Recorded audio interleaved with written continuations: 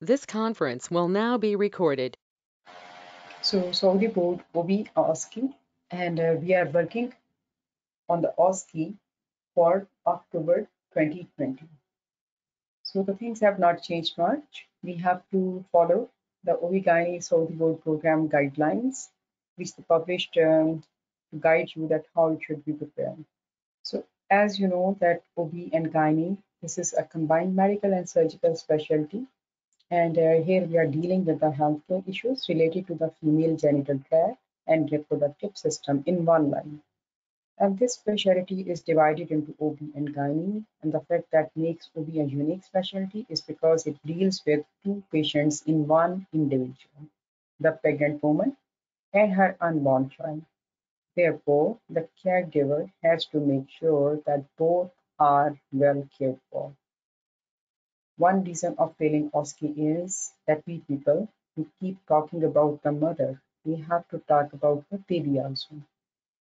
Gynecology, on the other hand, deals with the problems of non-pregnant females from the onset of puberty until afterwards throughout menopause and even in the post-menopausal problems. So the doctor who has to practice, who are taking a career in OB-GYN like you, so you have to know about all of these things, both OB and gynae. So you should have extended medical care you are going to provide to the baby and, and the mother, and then you have to ensure that both are adequately supported for a favorable outcome.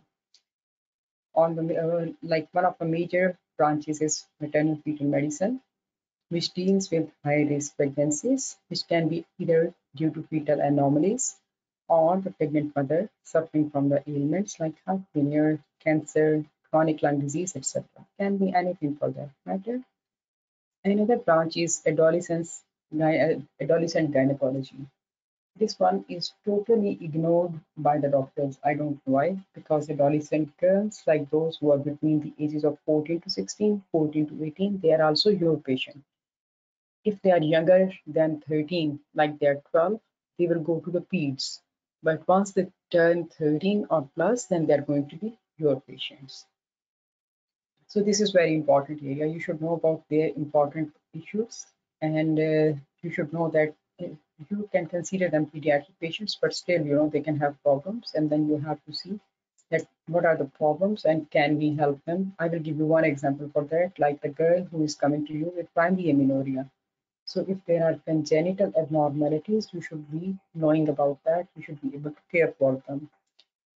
Then OB-GYN becomes very challenging because it has got many, many subspecialties in just one subject.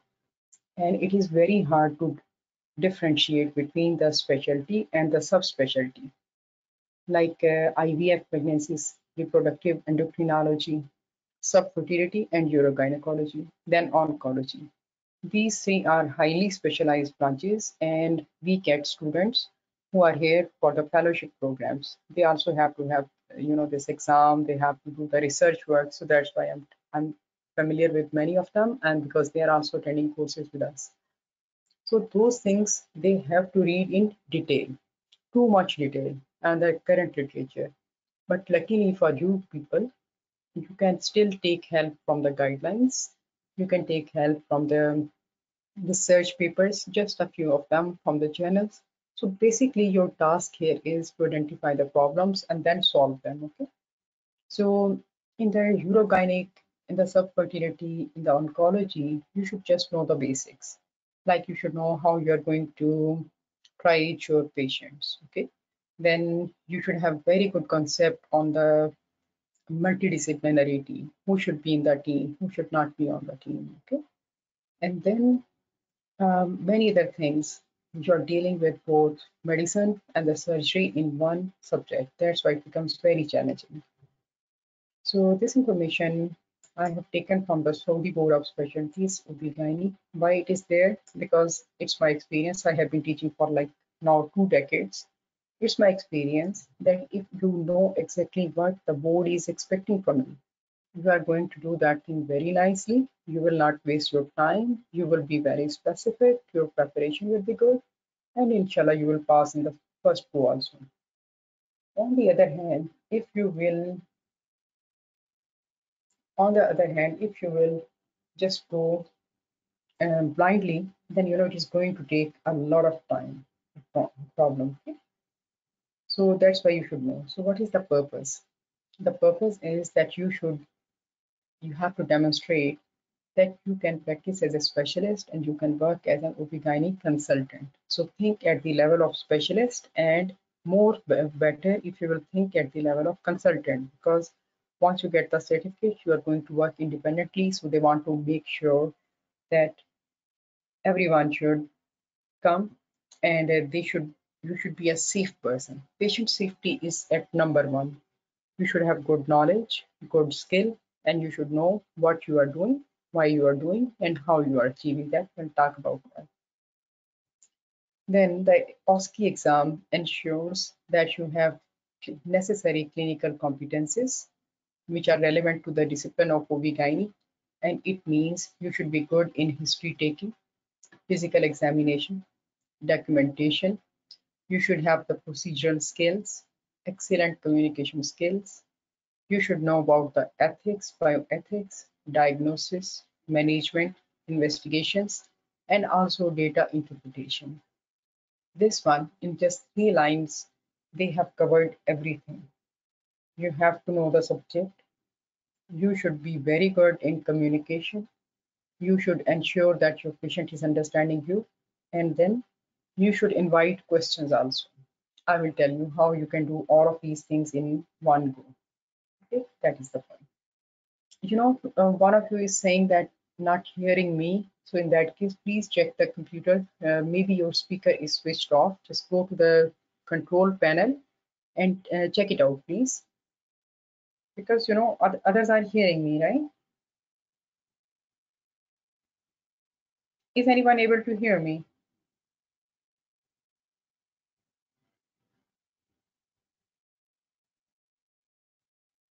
Hello, doctors. Are you hearing me?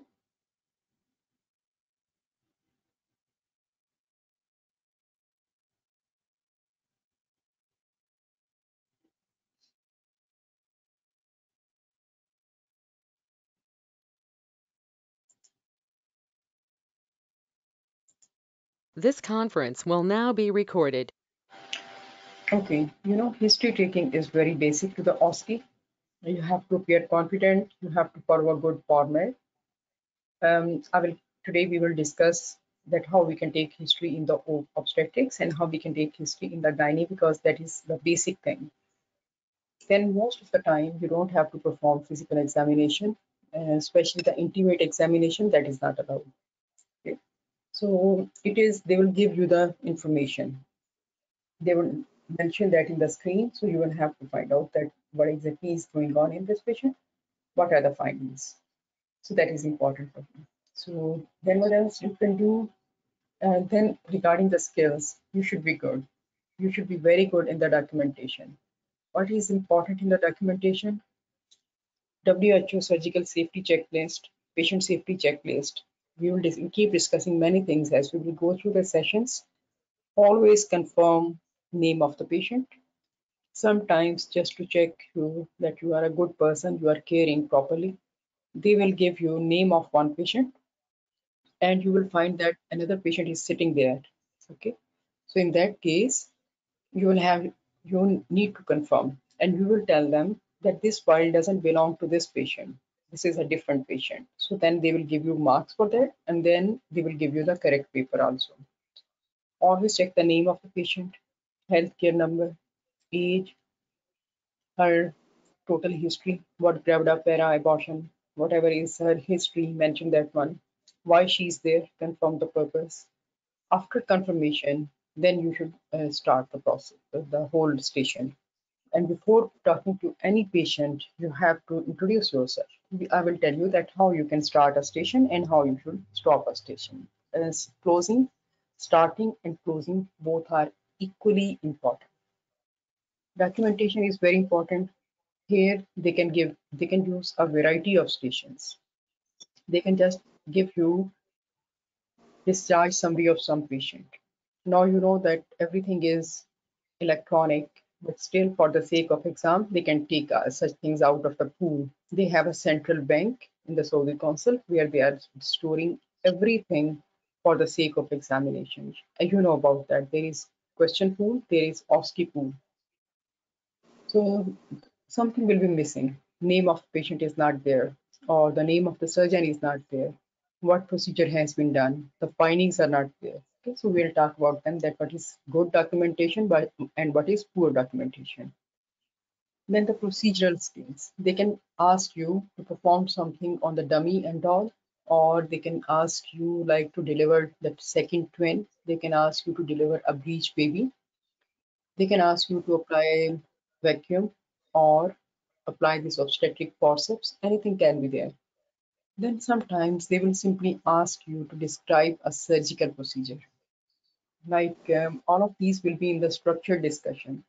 They will just put some instruments and then they will ask, give you the history of a patient.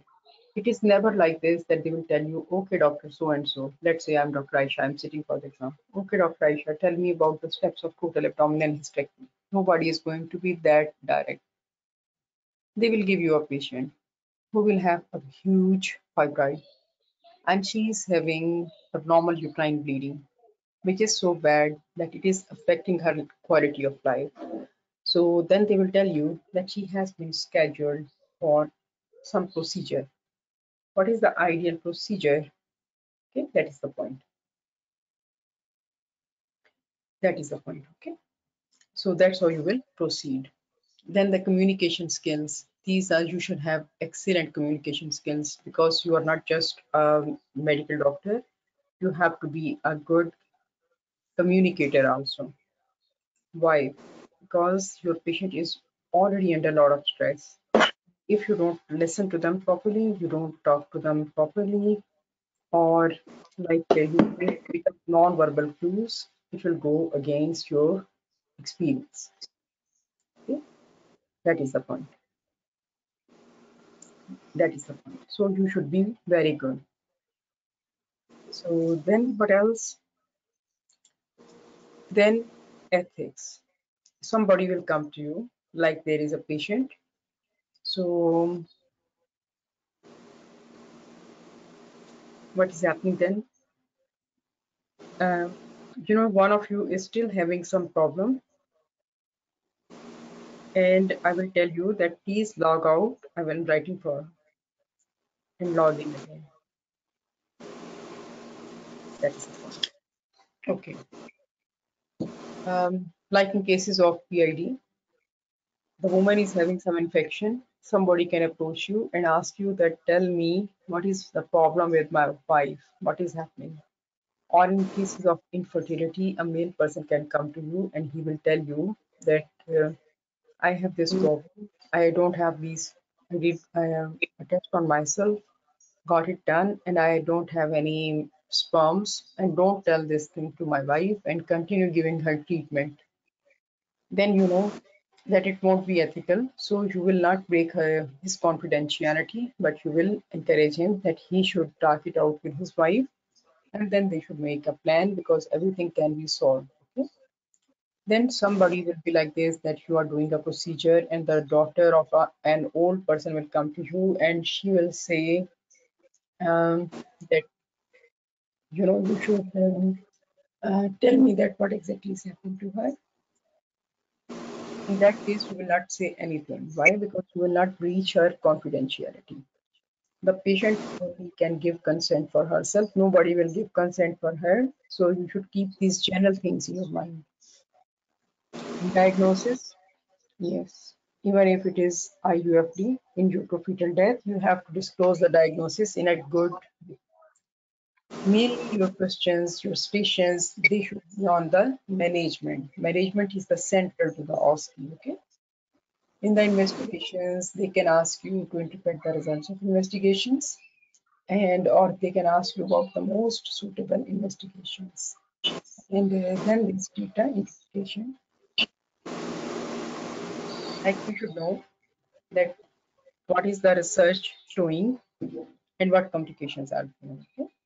So you have to that exactly is this one. So we'll talk about that also. They can ask you to do an audit. They can ask you to read an audit report. They can ask you to talk about the clinical risk management. They will not tell you that tell us about clinical governance, but clinical governance is tested on each station. They will not tell you that tell, tell me about information gathering, but information gathering is involved in almost each station. How it is involved, I will tell you shortly. Then the question is that how they are going to test your competences. So you are going to follow the same same curriculum I will show you now, which is recommended for the part two examination. So you already know about the number of attempts and the stuff, so I will not tell you about it.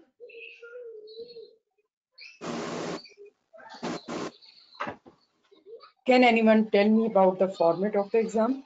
What is your understanding?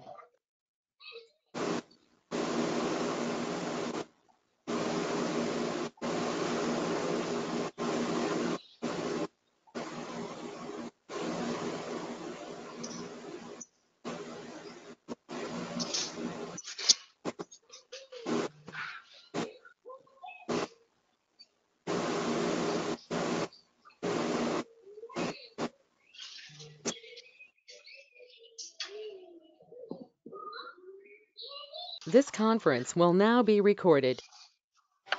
Okay, so regarding the exam format, you should know that the final clinical examination, it will consist of 10 graded stations and each with 15 minute encounters.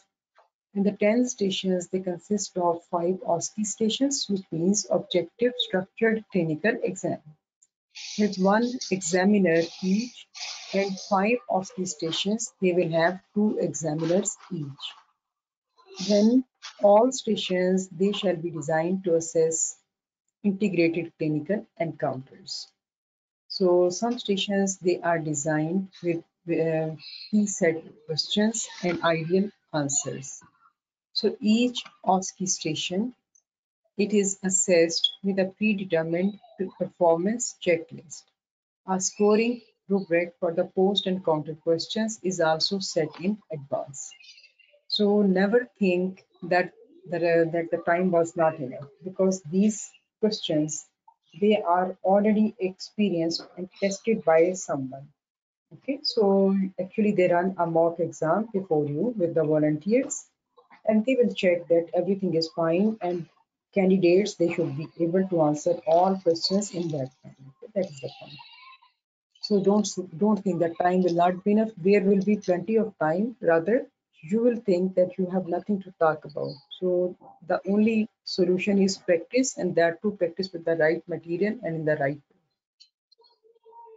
So then any clinical encounter which is scored below the pass mark in the OSCE station, it will be independently reviewed. It is not in the first instance. Second time, it will be seen by another examiner after review of the video recording.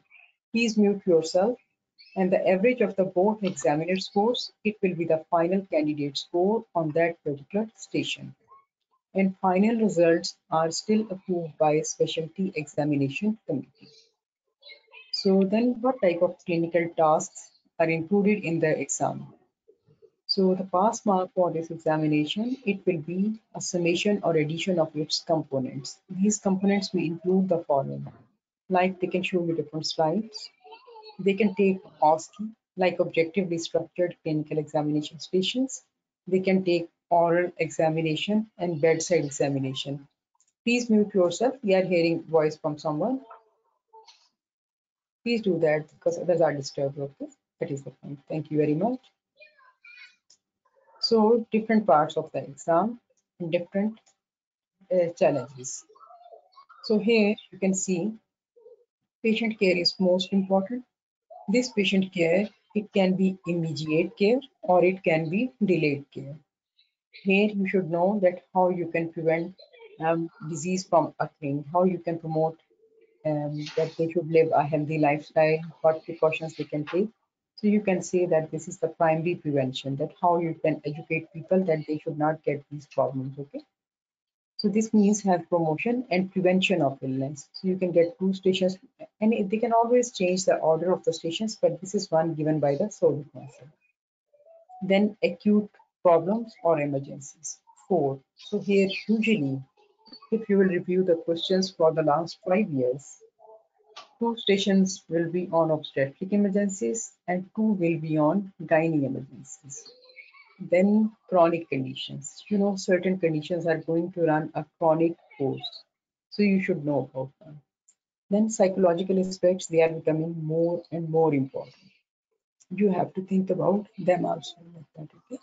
So total clinical patient care is asked, tested in six stations.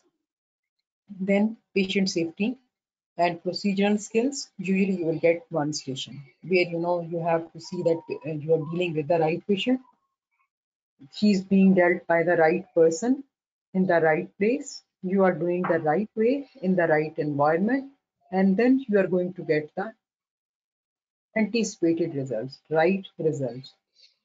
So something would have gone wrong with the patient, or patient is at risk of something, or it may be a simple uh, station where you have to counsel the patient regarding the uh, anticipated complications of a procedure and how you can solve them.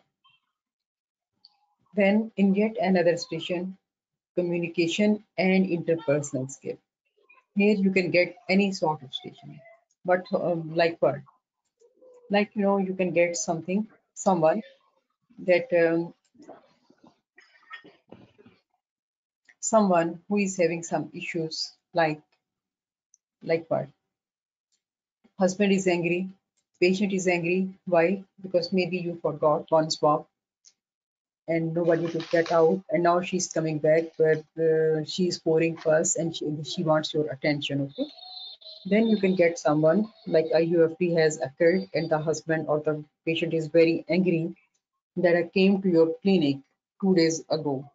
Why it was not picked up why didn't you tell us anything at that time? And now suddenly you are telling us that the baby is dead. So basically it will be like some acute problem. Can be someone who is having like the hemorrhage. So in that case you need to counsel her. It will be like the attendant attendant of the patient okay? So you need to counsel them. Of course in the obstetric or the gynae emergencies you are not getting the patient. In gynae you can still get someone like someone who is getting this and she has like this ectopic pregnancy. In obs you will always get something like this where the patient has preterm labor okay? So then you have to pay attention to the psychological behavior of the patient and then clinical management of the patient because patient will be shouting at you that why do you want to take my baby out? Baby is not even nine months. Baby is going to die. So why, why, why are you doing it? So you have to manage care of the mother care of the patient and then also care of the a baby also. Please mute yourself. Please mute yourself. Whosoever is this one. I don't want to mute you all because I I want to encourage questions and later you have to answer my questions. So that's that is that. Okay. So anyone who is having this noise, please mute yourself. Okay. Then you have to show professional behavior. Like maybe some complaint is against your colleague, or maybe you have seen someone uh, who is not doing something very well then you need to check on them and uh, you don't want to make an official complaint okay? So initially you will talk to someone. Then there can be some teaching station where you will have to talk to someone that you are going to give a talk or you are going to uh, tell something about the protocol of a hospital or clinic that what is happening here how it can be improved and stuff like that so these are important things so you should keep them in mind so total stations, you are going to get 10. This uh, composition can change, but this is usually the recommended one. Okay? So you should prepare yourself according to that. So now you should know that when you are dealing with OB-GYN OSCE, you have to talk about the patient. If she is pregnant, you have to talk about the baby of that person. And then you have to focus on the family of that person also. That how you can help them. That is the point. So everything should be there all at once. So that's why presence of mind is essential. So the process of enabling uh, like health promotion and illness prevention, it means the process of enabling people to increase control over their health and its determinants, thereby improve their health. Illness prevention, it covers measures not only to prevent the occurrence of an illness such as risk factor reduction, but also arrest its progress and reduce the consequences once established. I will give you the example. Like uh, a patient is there, she is obese, has planned a pregnancy. So you will ask her that before starting her pregnancy, she should idealize her weight. Otherwise, she, should, uh, she can get GDM, she can get VTE. Okay? Things like that. Similarly, if you can get a patient who is um, having this diabetes and she's coming to you for the pre-pregnancy counseling. So they will ask you that how you can do it. This is the point. Then it involves like uh, you need to tell them about the screening, about the periodic health exams, like the cervical screening program. Nowadays, too much emphasis is placed on that vaccination on the for prevention of the cervical cancer, then health maintenance, patient education, advocacy, community, and the population health. Then in the acute complications, you should know about the, you know, the acute complications which are occurring suddenly. So you will have to see that how they are initially going to present and then how you will, how they will move through the system. Urgent, emergent, life-threatening conditions, new conditions, and then exacerbation of the underlying conditions. So you have to identify, so you can understand the case, you have two tasks. First, you are going to identify the problem and then we are going to identify the other issues. Okay, that is the point.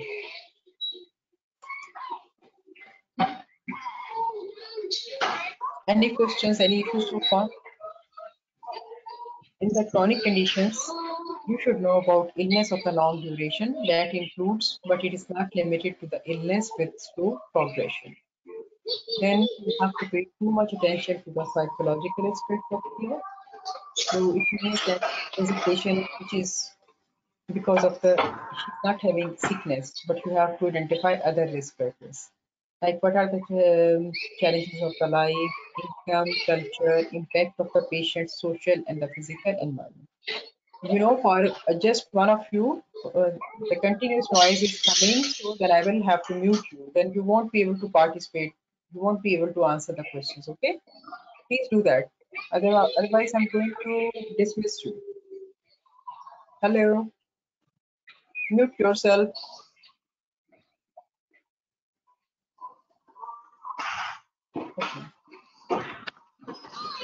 So that means patient care. Here you have to ask or assess what is the illness and the disease gathering interpretation and then you are going to make up relevant information like you can do a taking history, like history, physical examination, investigations, and management. And uh, it is not uh, many other things you will have to do at the same time. Like maybe you have to make um, Hello, doctor. Team care. Doctor. Yes, here Uh. There, there is some noise in here. We cannot hear you clearly. Yeah, that is the point. You know, I'm asking that. Yes, there's noise. Yeah, please, somebody whosoever is uh, making this noise, this noise from where it is coming, because you know, I I don't want to mute all of you, because uh, you people have to take part. You know. Then how you will contribute into the OSCE?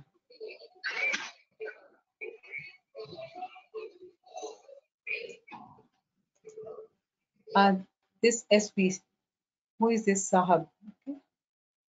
Okay. That is the point. Okay. Is it better now? Okay. Yes, thank you. Okay, that's that's great because you know we all are working, so we need to use the time efficiently. That is the problem. So the patient care. Start with the history. Take you will have to do the examination, or then as if, if the if they want you to do more on the management, then they would have given you the history. Okay, but uh, just don't start with the management. Again, you will confirm in one sentence. Like you can say, okay, you are Mrs. Asma, Okay, and uh, I have just gone through your notes, and my impression is that you are having this problem. Is that true? She will say yes.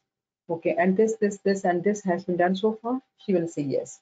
So don't uh, give her everything. You will give everything in chunks, in small pieces. Okay, this is your history. Okay, this is your problem. Okay, they have done the your doctor has done this this thing so far. Is that correct? She will say yes.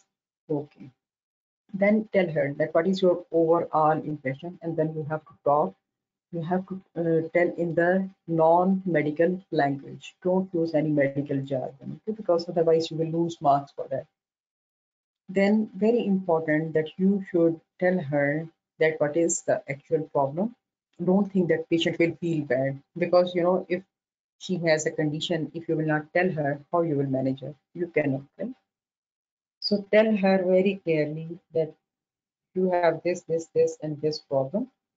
And in my opinion, and in my after my assessment, I think we can deal with this problem in this way.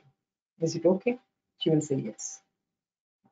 Then give her full range of options. Like you go to the shop, you have got 10 colors of the lipsticks. You will not tell her that, okay, you can use this pink lipstick. That will be so inappropriate you need to tell her that we have no different options. You are having this problem. My assessment is that uh, we you have these options. We can do nothing and we can just wait. But the benefit is that we are not offering you any intervention. And the negative point is that if we don't do anything, then it is not going to stop here. It will process, it will proceed. Or if we don't stop it right now, then your health is going to suffer, something like that. Then we can offer you non-pharmaceutical intervention without any medicine, just lifestyle modification, like in cases of GDM. I will give you one example. We can do this lifestyle interventions in cases of infertility where you have an obese person or even a thin person with PCOS, PCOS, polycystic ovarian syndrome. What is the benefit? Then set the time limit that over this time frame, we hope to get this one, this benefit from this intervention. Okay, patient has declined or it is not acceptable, maybe whatever will be her response, you will record that. Tell her about the medical intervention, what you have to offer, what are her chances, what she should expect. Medicine, medical management, she has declined or maybe you have you are dealing with someone who received medical attention, medical treatment, but nothing happened. So now you have to proceed the level, okay? You have to increase the level, go for the surgical management. Now the patient is so much disappointed, he doesn't want the surgery. In the surgery also, don't tell her that I, I will do only this uh, hysterectomy laparoscopy for you because that is the best option.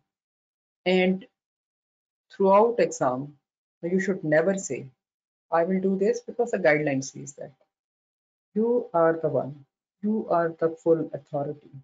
If you are dealing with a with another clinician, like in cases of structured uh, discussion, then you can give the reference that you know the Canadian guideline says that, you know that ACOG says that, that's why I will do that. Even there they don't want you to mention the guidelines or that, that because this exam is not vocational okay? This is dynamic exam. You are dealing with patients. You are showing their your applied knowledge that you can use your knowledge to your patient's care.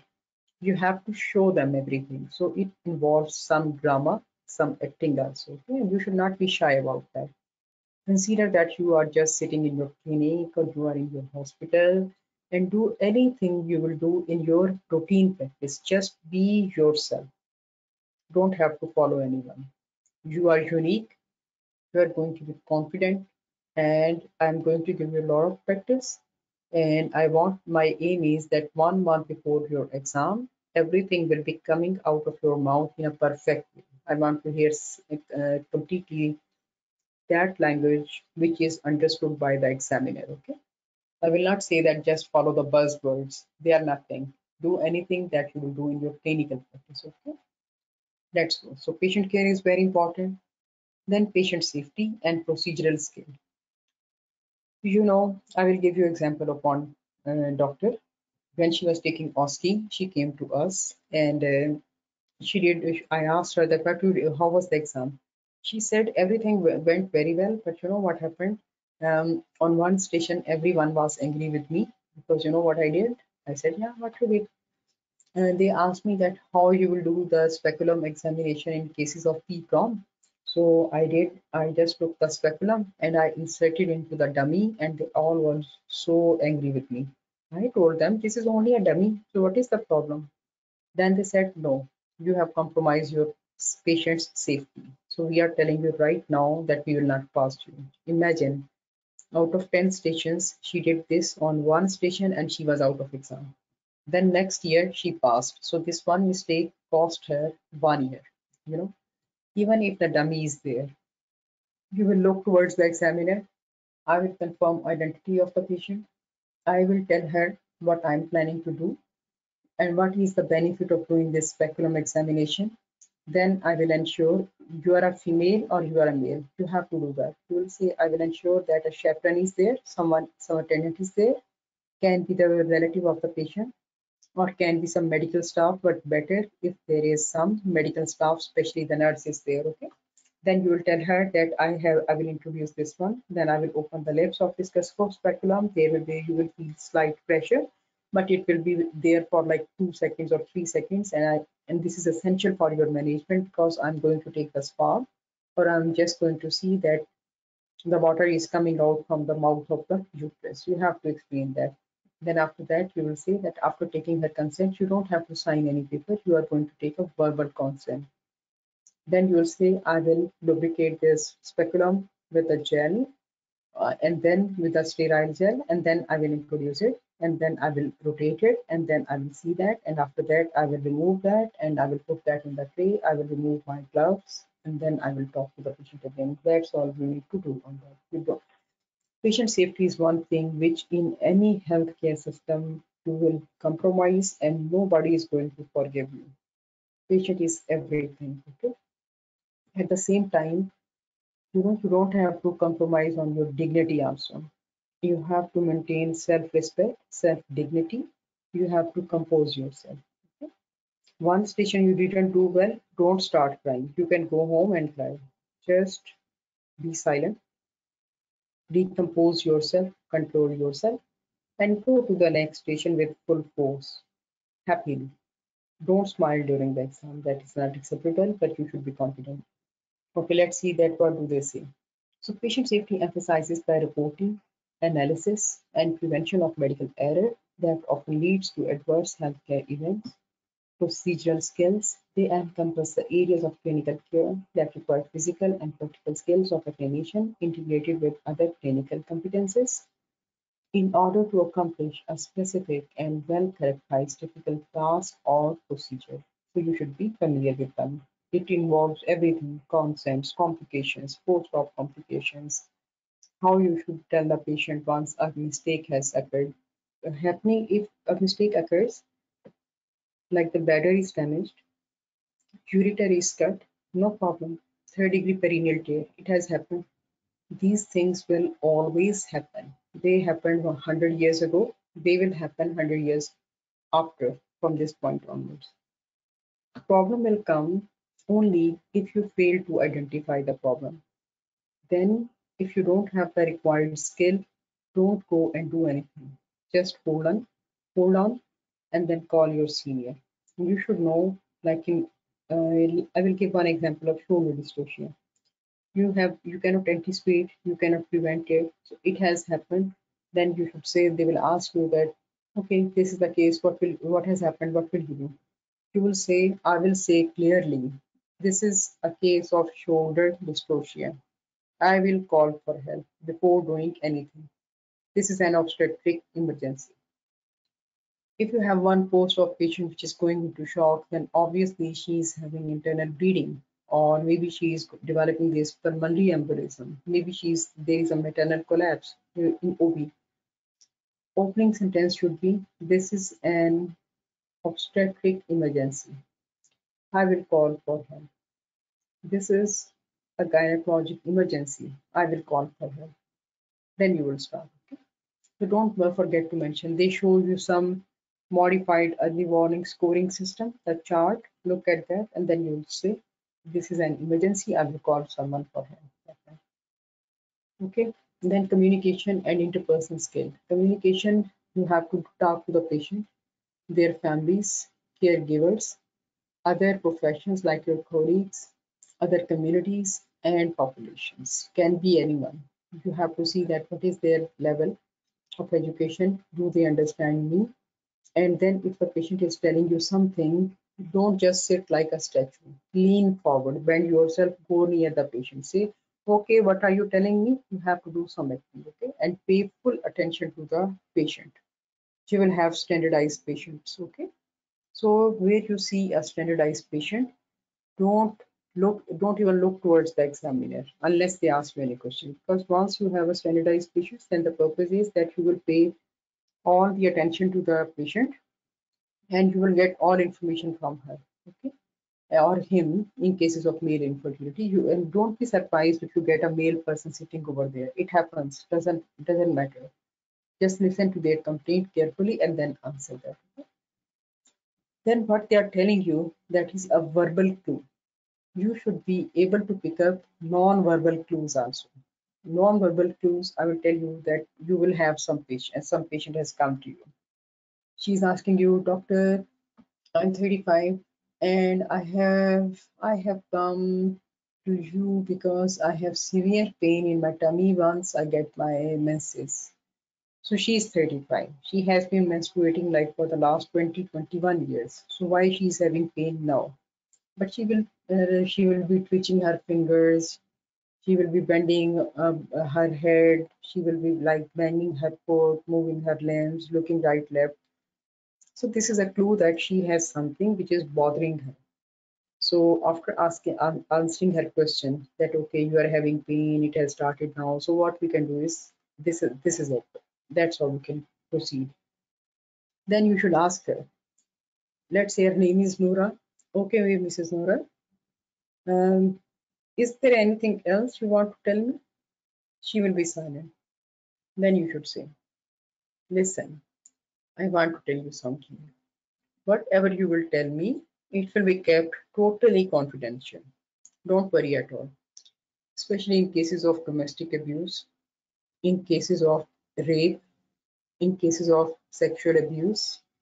Then, if the patient is having like uh, she's a victim of domestic violence and she or she is having some chronic some serious conditions she has some cancerous etiology something like that she will not maybe she will not say anything okay? So you have to say whatever you will tell it will stay here. This is totally confidential or you can see you can trust me and uh, then we can move forward then suddenly you, the patient will open up he will tell you everything. Like i will give you one example.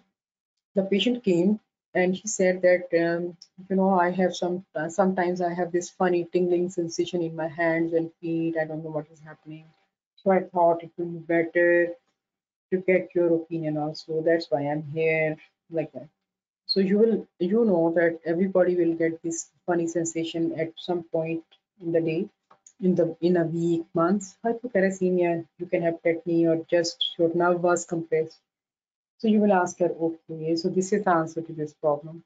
Is there something else you would like to tell me? And then she will tell you, you know, my friend, her mother has died before because of cancer, and now her other her elder sister she has developed this breast cancer. So my friend she's undergoing testing. So you know, I was thinking that maybe I'm also going to get this cancer. So you think I should go for testing? So in that case, you will take the history and you will tell her that the patient, that maybe the patient, uh, like the, like her friend, maybe she was having some hereditary cancer. So her chance of getting the cancer is like 10% because of the hereditary cancer syndromes. Okay. So she is having it. So, but before I tell you something, can I ask you some questions? Always ask her some, say something like this. So can I ask you some questions? She will say yes. So uh, your brother, is he fine? Yeah. How are your sisters doing? They're fine. Tell me about your aunt. Did anyone has ever got any cancer? She will say no. Then you uh, always use paper pencil. They give you notepad, okay? You can use that. So that paper you're not allowed to take out of the examination hall, but you can write some things. If you, have paper, just draw the picture for her. You see, Mira, your friend in, her family, maybe she's having something. I cannot comment on that, but maybe they have something which is running in their family. But now when I look at your family history, I can see that no one ever had any cancer. Okay, so you don't have any risk of developing any hereditary cancer, so don't worry about that. But if you have, if you develop anything abnormal, then you should seek medical attention. So does it satisfy you? Okay, like that. Similarly, you can get someone who is having like she is coming to you with primary amenorrhea. So she is concerned that all her friends they started to have menstruation at the age of 13 and she is already 16 and she is not getting it. So you will have to tell everything in detail like that. Sometimes you will have to break the confidentiality when when the other person is at risk. For example, if uh, your patient has come come to you, she has HIV. So at least her husband or the wife should know that she's having this problem. Okay? So you don't have to tell anyone, like police has come, you don't have to comment on that. But those who are directly at the risk, you need to tell them. That is the point. So you should be able to understand the verbal, non-verbal clues and the written communication.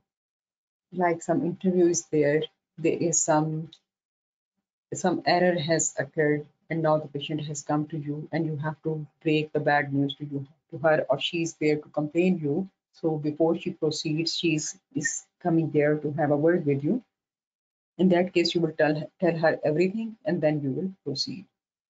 Then you have, sometimes you will have, they will ask you to take an informed consent, okay? So they will tell you that how you are going to counsel her. So counseling, once you have already decided to do a surgical procedure, now you are going to take a consent from her. So how you will take that, how you will break the risk, how you will describe the risk. You cannot say that the risk of having visceral injury is 10%. You will have to say in a different way.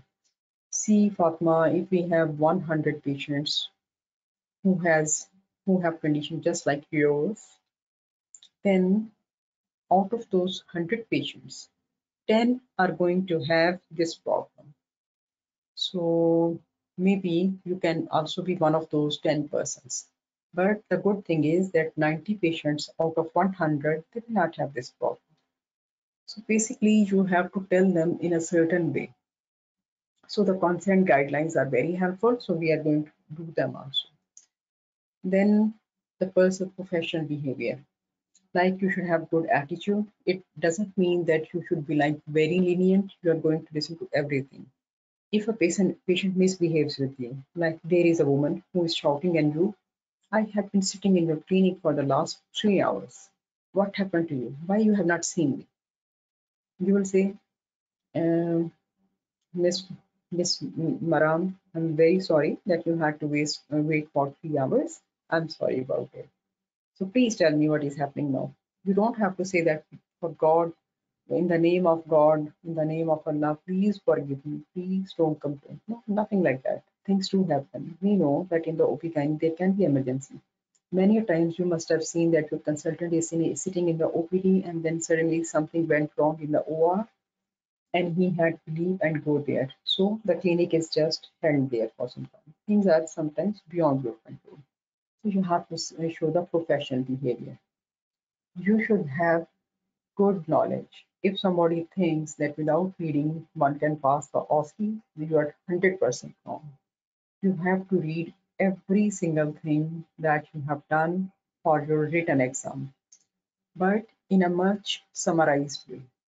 Just the summaries of the ACOG guidelines, how they do, how they proceed, how they counsel, and the consent guidelines. You should be familiar with the law. Then, if the patient is misbehaving with you when she is telling you that I'm going to complain, and you should not say that, leave me. Tell her about the procedure that what she can do and who is responsible for taking these complaints and let her do it. Okay? This is going to be fun. Then you should know that how the system works in your hospital, who is responsible for a certain thing. If something has gone wrong, like something dangerous has occurred, like there is a whole list of incidents, serious clinical incidents, which should be reported. And uh, you should not forget such things. Like if term IUFD has occurred, you need to write an incident report form. And then you should know that whenever you are writing an adverse event report, you are not complaining against anyone. You are just doing the legal thing. The purpose of writing a serious incident clinical report is that we should improve the working of that place. Okay, it is not against anyone. This is job of the concerned persons to see that your complaint is correct. And if there was some negligence, something, then first time nobody is going to do anything. They will not ask you to do anything. Just notify that. Many are many triggers are there. As we will proceed, we will talk about them. PPH is one of them. Retained swab is one of them. Poor fetal score is one of them. Unplanned blood transfusion. Then, uh, you know, this shoulder dystocia, stillbirth. Then, uh, you know, antepartum hemorrhage. You don't have to report as such because you are going to manage with PPH then unplanned blood transfusion, then uh, many other things can be there. So cord prolapse can be there. Just for breech presentation, very variable stuff. With complication, you should write a report. But if the breech delivery was completed successfully, you don't have to do anything. These are the things. Okay, then you have to observe ethics. Then how, what is the social behavior? What are the social norms? You should be familiar with them what are the legal duties? Like I will tell you in cases of infections, like MRSA has occurred, so you need to inform the infection control department. Wound infection has occurred, yes, you should tell the, the infection control team. We need that five, five to six percent of the patients they are going to develop the wound infections, but you should tell them. Similarly, if some viscera has been injured during surgery, you need to write a clinical incident report form all of these things should be mentioned.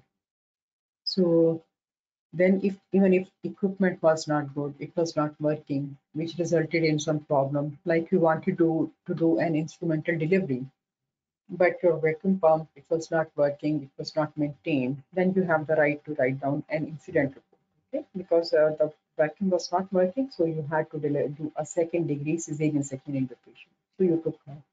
So all of these, they demand that you have to write the serious incident report. And this is your legal duty. IUFD has occurred, then whatever is the cause, you are not concerned with that. Or mother has died, unfortunately, then you have to write a report. This is this is by the law. By the law of the Saudi Ministry of Health, you are required to report all incidents to the central room. So you will write down, you will give to your nursing office, or you will give to the manager on whatever is the system in your hospital. And then you have to deal with everyone with respect. You have to maintain integrity, accountability, and then you have to know that what is self-awareness, reflection, and then you should know that you should be in the habit of reading. If a junior asks you to teach them some skill, you should never say that, no, I will not teach you. You are not in my group. This is not acceptable. You are going to teach them then you should remember that uh, learning is not like one one time event. Like you have passed and this is enough. No. You have to update your knowledge all the time. Then the most important part is that how do they score your performance okay? So actually when uh, we cannot say that in each exam what will be the pass score. And the pass fail cutoff for each OSCE station is determined by exam committee prior to conducting the exam and they will use um, a minimum performance level scoring system. So each station, it shall be assigned a minimum pass performance level and based on the expected performance of minimally competent, uh, competent candidate. The specialty exam committee, it will approve the minimum performance level at least one examiner it marks each OSCE station. Actually, if there are two examiners, two have to mark and they are going to mark independently. And if I will show you one grid that how do they assess you, so each examiner will have like three or four pages. So they will go over them. They will just take that what is your performance. And then in the end, they will take the full score. That's why, you know, it takes some time to release your score. But trust me that when you will look at these lists, these are very lengthy. Okay, I will tell you about the scoring system also, but uh, assessment, they're going to see each and everything you say, each and everything you do. So two examiners, they have to do independent assessment. Then to pass the examination, the examination, uh, you have to get full marks where like uh, you know 70% of the total stations with 60% on each component. It can be in the Viva or it can be in the objectively structured exam or it can be in the Viva. So regarding the syllabus, here is a long list, but you can say that you have to do all the topics that you did for the written exam and then for the OSCE exam. You will do the same both in the OB, both in the gynae. Almost everything is there. Only the basic sciences are not there. Like even you can see here that the maternal mortality, they will they can ask you the definitions. How you can reduce maternal mortality, what is perinatal mortality and morbidity. Then they can show you some piece of literature, like this will be audit of some hospital and some important information will be missing so unless you know that how do we carry out an audit, you cannot tell them that what is an audit and is there any mistake in this audit or there is no mistake. So, but it is not hard, you can do that. The only problem is that we are not practicing such things, so that's why we have this problem. Then surgical technical capabilities, like they can ask you to demonstrate a procedure, demonstrate the steps, how you are going to hold a certain instrument, especially laparoscopic instruments. Okay? These are the things. Sometimes they will just bring a model where they will ask you to tie a surgical knot. So you should know about that. Okay? Sometimes they will bring dummy and the doll and they will tell you that how you are going to deliver a breech baby. Sometimes they will ask you that mostly they like to ask that the first baby in a twin pregnancy has delivered. How will you deliver the second baby? So unless you know the steps, you cannot do anything. These are most frequently tested things, okay? So then this list goes on. Everything is included. External cephalic version, how you are going to do that, what are the indications, what are the contraindications, okay? So what information should be given in the start. So patient information leaflets, they are also very helpful, okay, like that. Then regarding the diagnostic scans, I wanted to draw your attention. They can ask what is karyotyping? How do we do this hysterography or hysteroscopy? How do we do this procedure? Then what are the benefits? When in which stage of the cycle you will take the sample of the um, endometrium because the woman has abnormal uterine bleeding. Okay. Then there can be something very simple, like how you will take the urine sample from a patient. So it is not like this that you will tell her that just you will take catheterize her and take it. No, you have to explain the procedure to the patient. Even if you, are giving her a bottle for urinalysis, you will tell her that she will wash herself and once she is passing urine, once she has reached reached the mid, then she is going to give us that sample and then after that she can she should completely evacuate her bladder and she should give that sample she should keep that on the sink and then we will collect that Similarly, if you are going to take the catheter, the sample, you should take consent, then you should clean the vulva, and then you should take the urine sample. Okay. So all of these things, what is happening, why it is happening, so what should be done about it, which can, which are the possible outcomes, and then how you are going to achieve them, or we call them WH questions. Okay, all of these things, and then you know you can see everything is there. What is pelvic organ prolapse? What is urogynecology? Prolapses and this stuff, this is also covered in, under the heading of urogynecology. So many things will be there. So this is the list here. I will put that for your information on the web page and then you can see that in your free time also. I'm sure that you know about them, but still if you want to know that, you can go there. Similarly, the patient education, what you will tell them, how you will tell them how they are going to achieve it. The whole list. So um, hopefully we should do all the stations which have been tested in the last five years and then you know the new things they will also come in. So like here, they gave in the, this is the example given by the Saudi Council. like uh, let's say that you have a 47 year old woman and who is complaining of constipation and gradual enlargement of the abdomen with an irregular cystic mass filling the pelvis.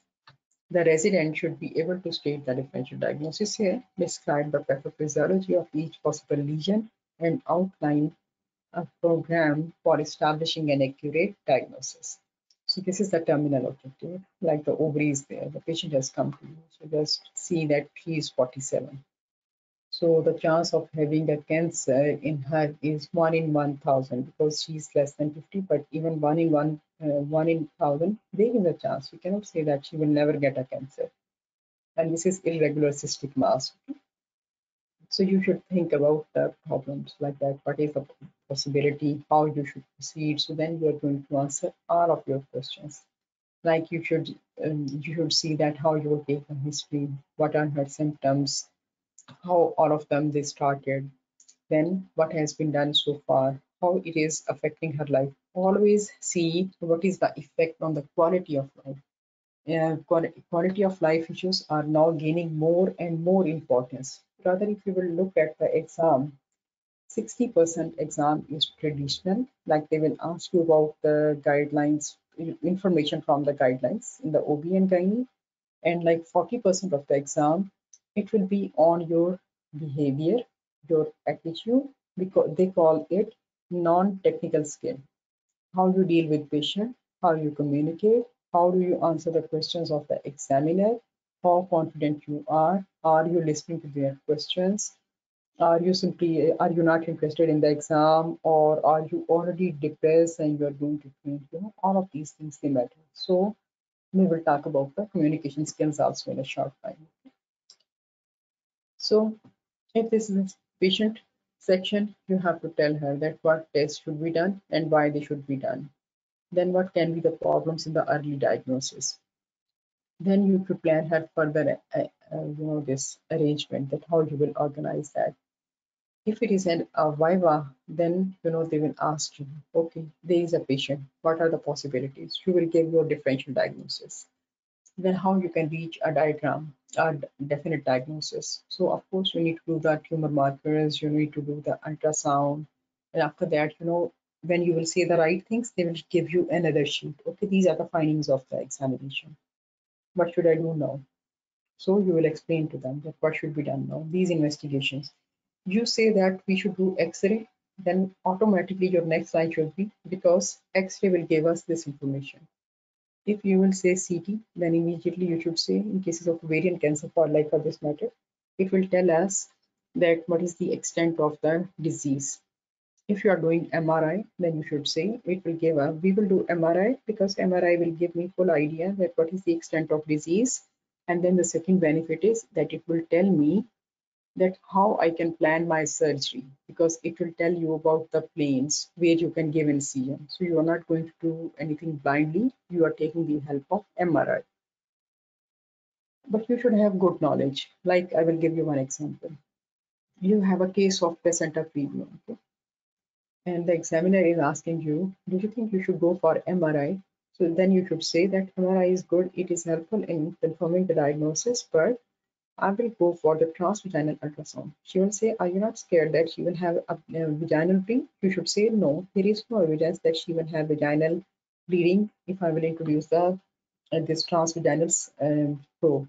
Of course, I will take permission from the patient and will explain to her that what are her chances, then I will carry out this examination and they, then they can ask you since now uh, another clinician is talking to you they will ask you that why you why are you doing this TVS why don't you go straight away for the MRI you will say that in expert hands sensitivity and specificity of both exams is the same while in case and this transvaginal ultrasound this is readily available I don't have to schedule an appointment so I will do that then they will tell you, okay, this patient went for the MRI. What do you think? Why they did MRI?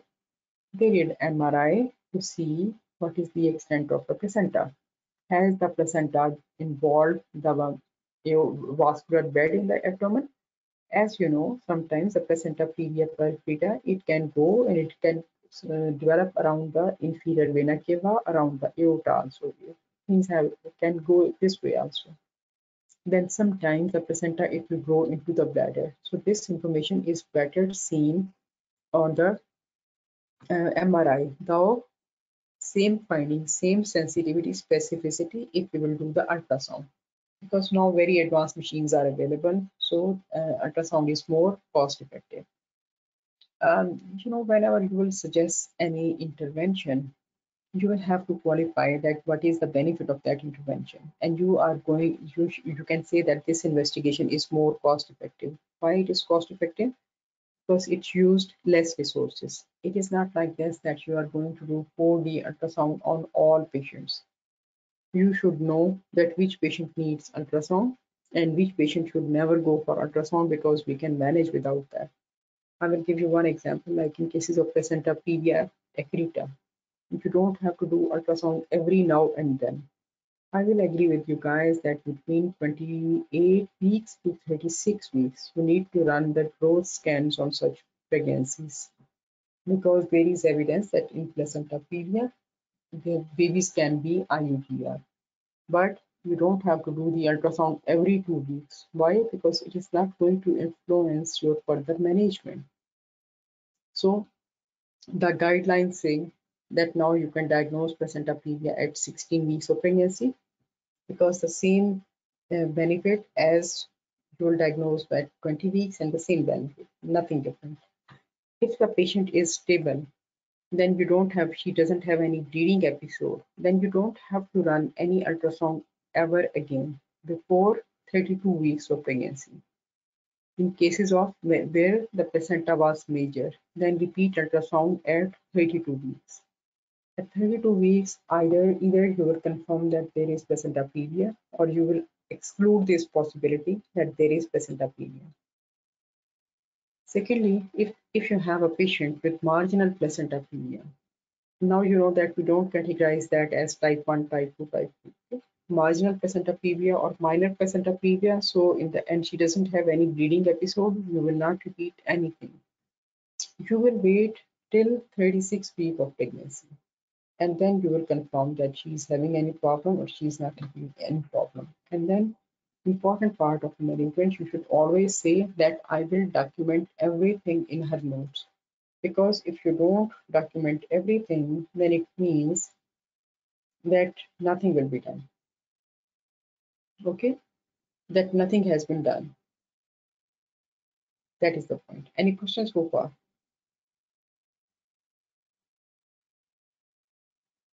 Okay, so when you are offering the um, you know chemotherapeutic agents, you should know that we, what are which medicines are antimetabolites, which are alkylating agents, which are antibiotics, and uh, then that who are mitotic inhibitors, and uh, then uh, can we give steroid hormones? What are specific specific metabolic inhibitors? You know, all of these things you should be mentioning them.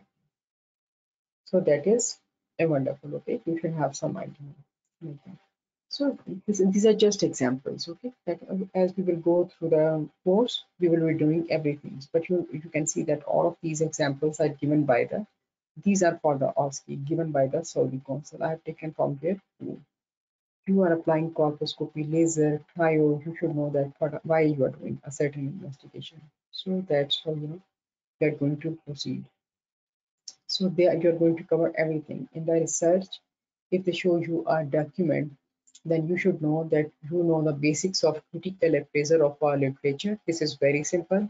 Any type of document, I will give you a format, you will follow that and they can bring any document from any healthcare system and you should be able to comment on that.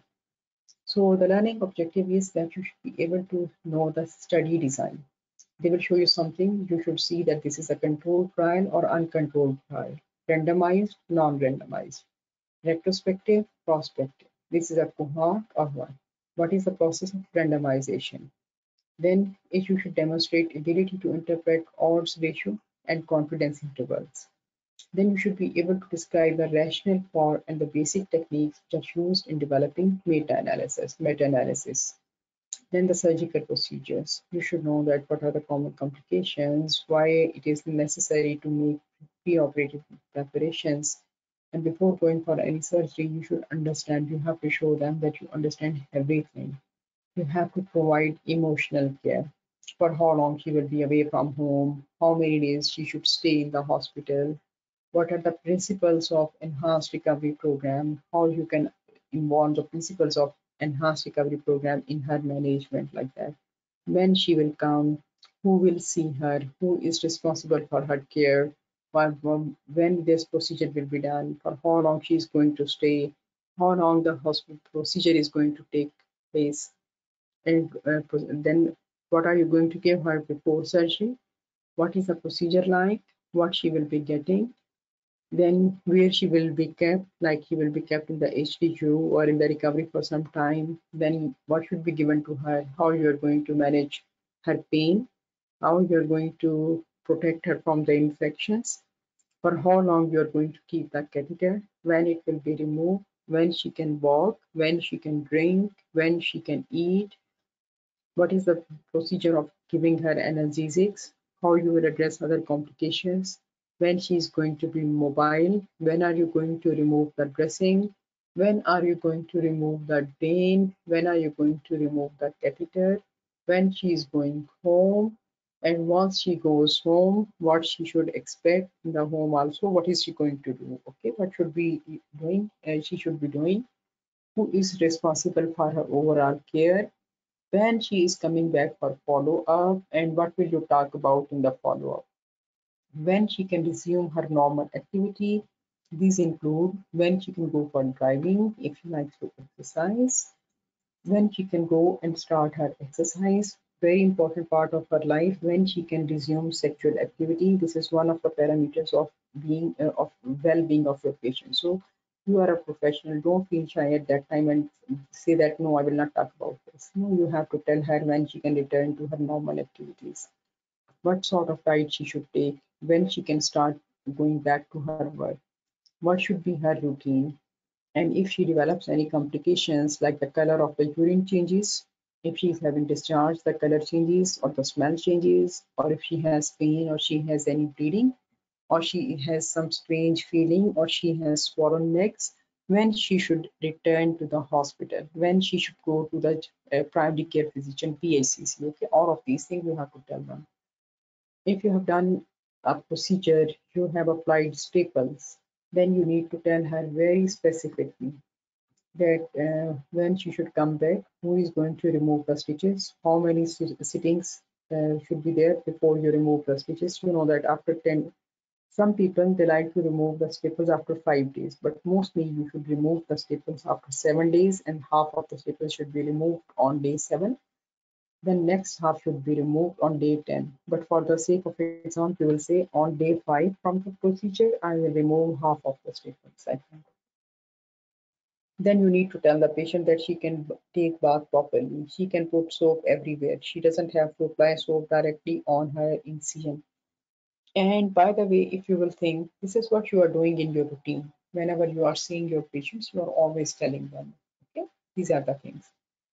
Then the reference to the other places are very important. Especially, I will give you examples of patients who have medical disorders of pregnancy.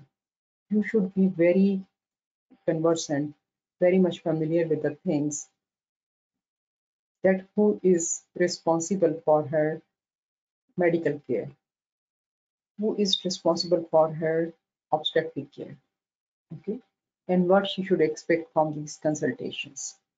And uh, then uh, how you are planning to arrange her care, how her care will change, and always give her a contact number and information, website, hospital number where she should contact in cases of emergency. So don't leave her without information. So frankly speaking, you have to do everything that you will do in your hospital. Okay, so we'll keep discussing more and more topics, don't worry about it. So regarding that, how they are marking you. So full instructions, they will be given for marking, for example, like uh, the one given below for a postgraduate asking Okay? There were two examiners. Okay? There's, you have got two marks. This is satisfactory, so you are going to pass. the overall score is 1.5 uh, out of 2 this is borderline quality so they will see that in uh, what is your overall score then they will pass you they're not deciding you on the basis of uh, they will not fail you on the basis of just one station okay? But the point is that at least 7 out of 10 stations should be done very well. If you get like 50% marks like 1 out of 2 then this is considered unsatisfactory.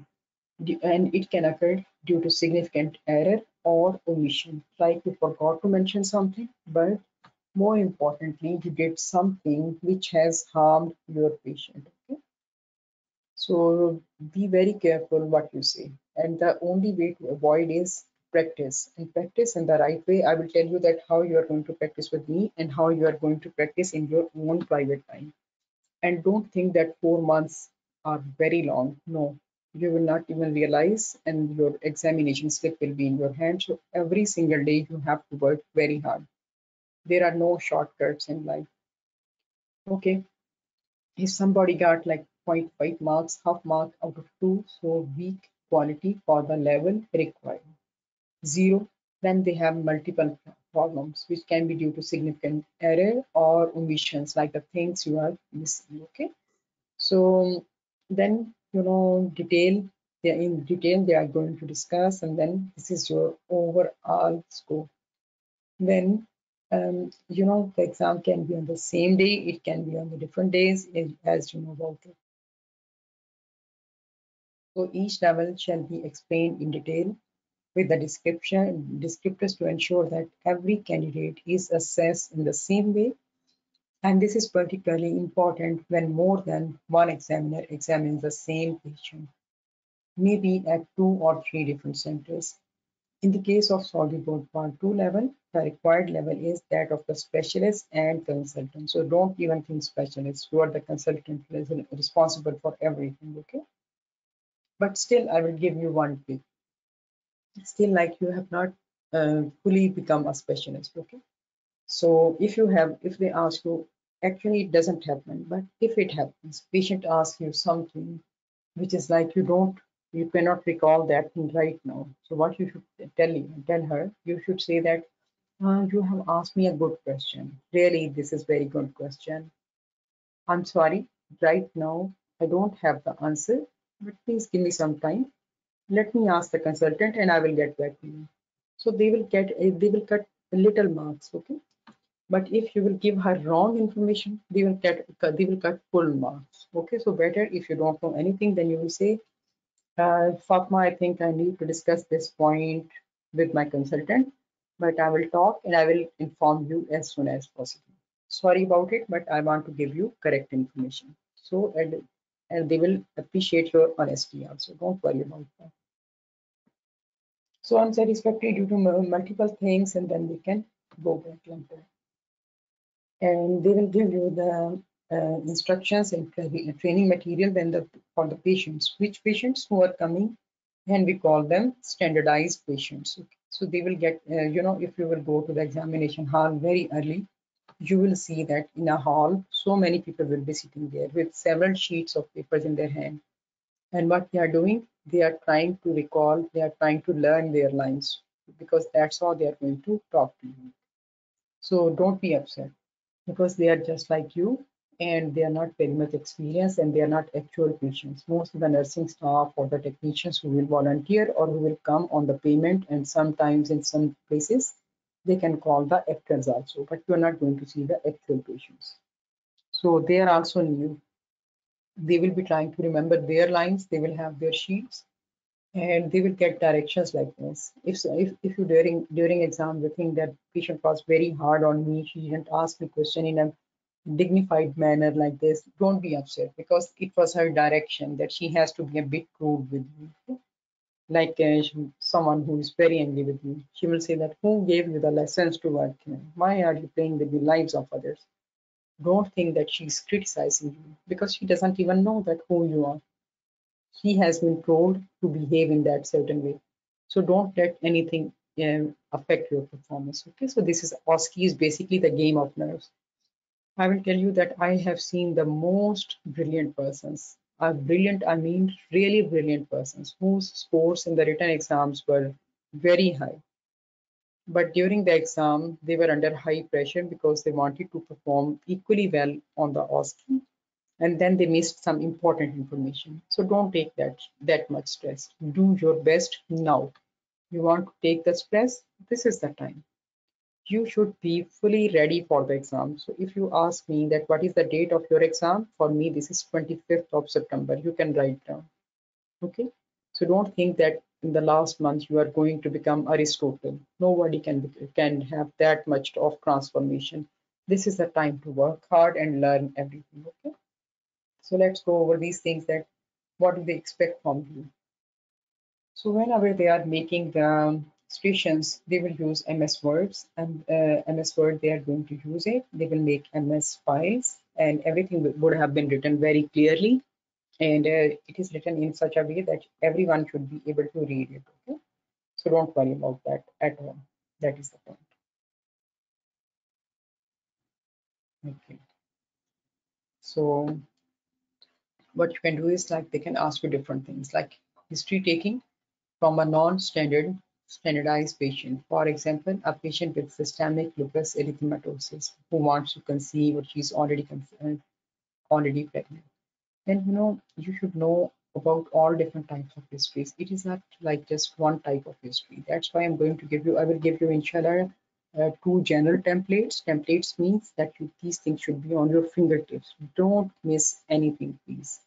So then if you will follow the, that method you will be able to take history from everyone then as we will practice with the modules, I will give you the list of modules that which module we are going to discuss next week. And I will tell you that what do you need to read for that module. Okay? That's how we can progress. There are like 11 modules or maybe if we will bring out the non-technical skills, the number will increase to 14. So you are going to work hard and then we will see that how we are proceeding. Okay. If you are able to do very well on one station, then immediately after like two, three days, I will ask you to prepare the next module and then we can practice with that but I want you people to take time and once you come to the class, you know, you should come when you are free, okay? Just tell everyone that don't disturb me, I have to answer the questions because this is your chance to practice and practice is not like uh, you're just talking to yourself. You are going to do the supervised practice because if you will say something which is not asked for or you will say something extra or your information is missing, then I will tell you that how you should do the a certain station like that. So you have to speak. Okay? Don't feel shy. This is totally confidential. Speak up your mind, your heart, whatever you want to say. Even if you will, uh, your opinion will be like totally different from mine. I'm not going to be angry with you. We, you have to give me the reason. Convince me. You should try to convince me that uh, why the, your answer is correct and my answer is wrong. So I have no ego issues. Purpose is to prepare you in a good and in a happy manner.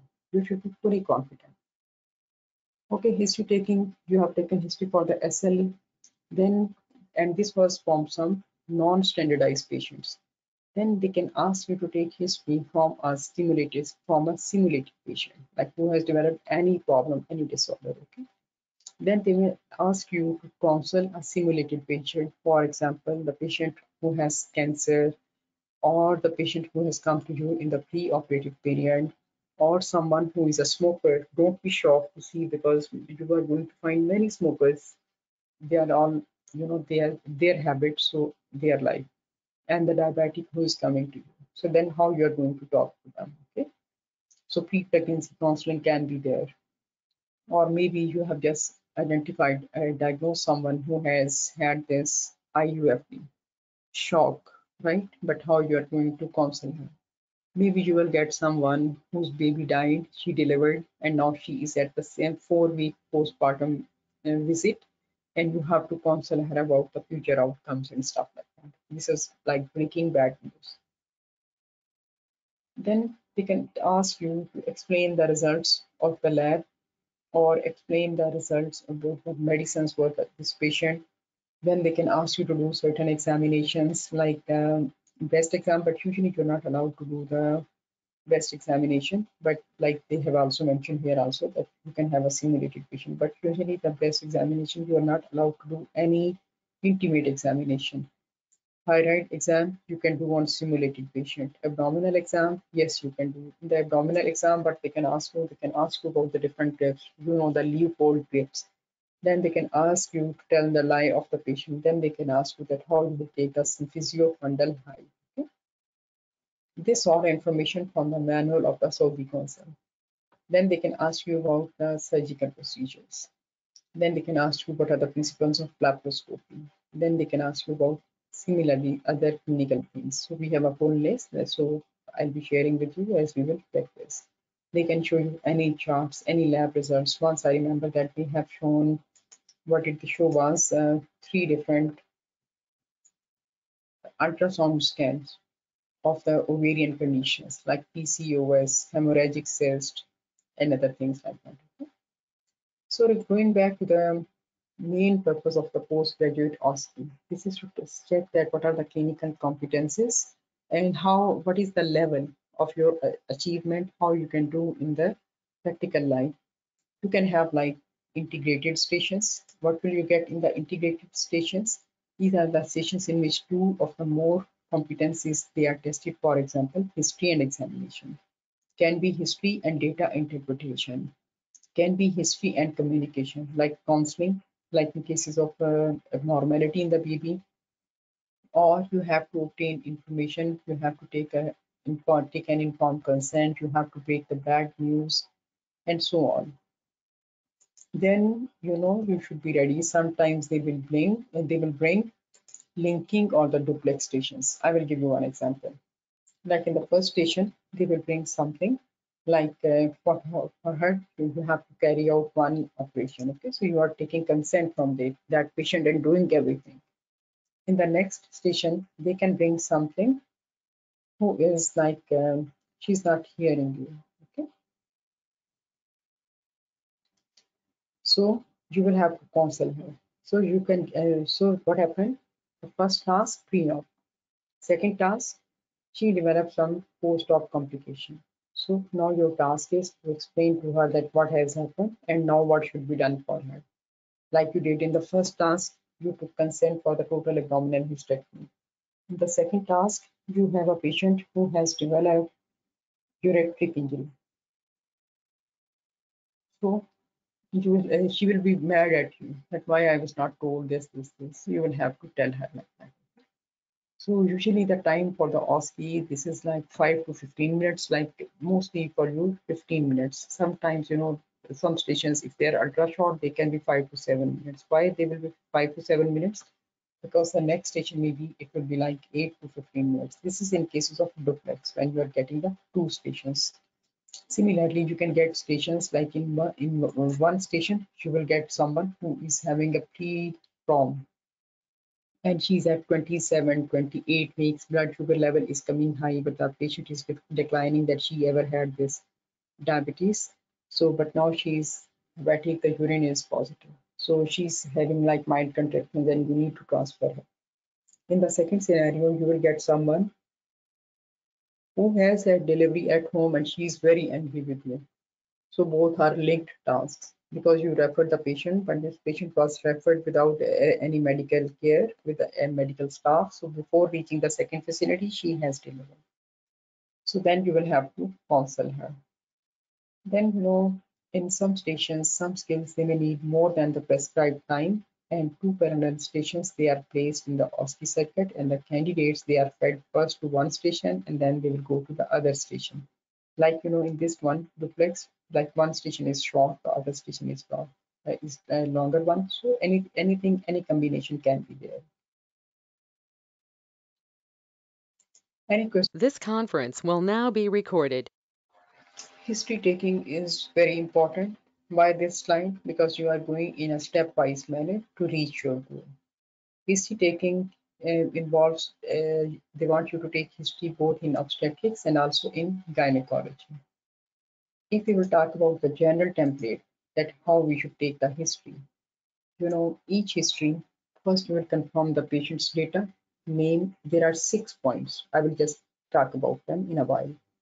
After filling in the patient's initial data and everything, then you will have to ask about the presenting complaints. Then presenting complaints, you're not writing simply, we will talk about them, that how you should write them okay? in the time manner. Which complaint occurred first, then what happened, and then what happened. Then you will take a history of presenting illness. Then her past history. Past history is a very huge subject. What is her medical history, her surgical history, her previous obstetric history, previous gynae history. Never forget this history of allergies. This is very important. Is she having any known drug allergies? And then don't say yes or no. If she says that she's allergic to something, you should say, okay, tell me what happens if you take this drug. She will tell you, uh, you know, doctor, when I took this medicine first, I had mild itching. Oh my God, I have a, it was so irritating and like this and that. That is one thing. So she's having a mild allergy. You ask another patient and she will tell you, oh my God, that was the worst experience of my life.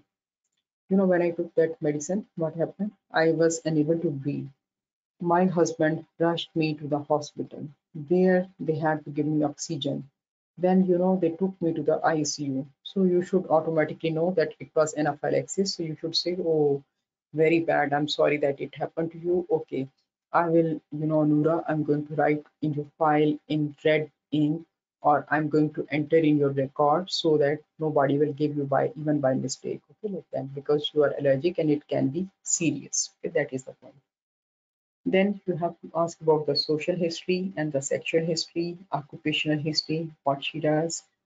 And then you have to assess her mental health at each visit. It is becoming more and more important. Now, you know, if you, will follow the maternal mortality guidelines, the deaths due to suicide they are on a rise so you will ask her all patients two screening questions how has been your mood in the last four weeks? Before the previous definition was that how was your mood in the last three months but now you will ask her. Tell me about your mood. How was your mood in the last four weeks? Write it down. Four weeks. Then your second question is are you having as much fun as four weeks ago? Or are you having as much fun as for one month ago? Or you can say, are you still as happy as you were one month ago or not? These two questions you have to ask. If she will say yes to anything, that no, like you're asking, so how is life? That is also one way of asking. How is life? How has been your mood in the last one month? She will say, yeah, I'm going on so you should raise concern. What happened? What has changed? Why you're not happy? Then she will say that Uh, she will reveal. Only when you will ask her, then she will reveal, and then you will have to say that, you know, anything you will say here, it will be totally confidential. So you can trust me and tell me that why your mood is like this. What do you want to tell me? This is very important. Unless you will reassure her, she will never share information with you. That is very important. Then don't leave here. You will have to summarize the whole history for her. After that, you will go to the examination section. You will have to do the, you comment on the general physical examination. Then sometimes you have to do the specific examination. But breast examination, if you have to do, they will bring a male person or maybe they will not ask you to do the breast examination. Only it must be mentioned in the notes only. You are never allowed to do rectal examination or vaginal examination in the dummy yes. In the dummy they can always bring a speculum. They can bring some other instrument. They can ask you that tell us how you will take a sterile urine sample like that. So you will have to demonstrate but like i told you you will take verbal consent. You will tell the examiner that what you will do. You will tell this to the patient and then you will proceed okay? Don't go without telling anyone because if you don't observe the ethics or you don't take consent from the patient or you examine her without taking her consent, everything will go against you. Then generally after taking the history or and if they have given you the history already in the question, you should confirm. Okay, go introduce yourself and you can simply say, you don't have to say that I'm one of the examiners here and this and that. No. Simply say that I'm Dr. So and so and I'm here for the examination. Straightforward, nothing else. So that's how you should proceed. So confirm the history, then you will have a look at the investigations or you will tell that what investigations should be done. Then management, main focus is on the management. Then always give follow-up appointments where it is indicated. or if you need to refer the patient, tell her that you are referring to her to another place and who will be responsible for her care. You should you should tell her that who is going to care for her. And then you should invite questions. Then you should conclude or close the whole play. So in the end, you should conclude. I will tell you that what you should say. So let's start with the history. History taking is something which you are doing every single day. Okay. So from this moment onward, I want you to take your follow this, this pattern um, for your history taking. I understand that in many hospitals they have their own proforma for taking the history. So even when you are taking the points, try to do at least one history every single day so that uh, these behaviors they will be reinforced because real good history is going to get you good marks. When you are taking history in an obstetric patient, you have to confirm patient identity. And patient identity means you will ask her name, name of the husband, occupation, how do you ask for it, about it? You will say, what do you do for living? So don't say that, when were you born? So how old are you? You can ask directly. Where do you live? Why this question is important? Because you know, if he is living in some far flung area, then it is hard for her to get medical attention. But if she is living in Riyadh, in some other metropolitan, then you know that she can go, she will go out of her house and within two, three streets, she's going to find the PHCC. While if she's coming from some mountain, some far off area, then it is, you should automatically think that she is not getting full care because it is hard for her to go to the hospital. What do you do for living? You finish school, college, educational background because you should know that who is sitting in front of you and how you should be talking to her. So then in the you know the Saudi concept of, of form, it also says that you should ask that what is that uh, monthly income. So you, how you can ask her that. So are you happy with your life? You are able to now the things are very expensive. Are you able to bear expenses? She will say yes. something. Then you should ask her, is there any hospital near your place, near your house? She will say yes. So do, do you go there often? She will say yes or no. That is the point. So then you will go and you will, uh, in, even in the history, you are in the opening sentence, you're going, going to write, you must have seen that how do we write the history. This is 37 year old, gravida 5, para, para 3 plus 1 at 32 weeks of gestation, presented to me because of vaginal bleeding, then write down 3 days. Abdominal pain started just now. Vomiting since yesterday. So in chronological order what is what was the first complaint? What was the second complaint? What was the third complaint? Okay so gravida para live birth abortion then what is the period of gestation? And uh, then when was her last menstrual period? And when is her uh, estimated date of delivery? Is she booked that is she caring getting cared somewhere? Because booked patient means things are fine. Unbooked it will raise many concerns. Unbooked means that she has not received good care so you should be ready to see more complications okay? Or maybe this is someone some foreigner person or maybe some asylum seeker so you don't know anything about her. Then has she received immunizations? Like uh, immunization like i will say that hep b vax is complete and mmr she has taken for mumps measles rubella or if she has like SLE, she has sickle cell, she has sickle cell disease, or she has uh, thalassemia, sicklers and the thalassemics, they need prophylactic vaccines. Like uh, what vaccinations they need? They need annual vaccination for influenza. Then uh, they need every five years they need vaccination for pneumococcal pneumococcal vaccination Then they need vaccination for encapsulated bacteria like Haemophilus influenzae, like for the flu virus. Then um, meningo, then also for influenza and meningitis. Okay, she will need vaccination for all of these things.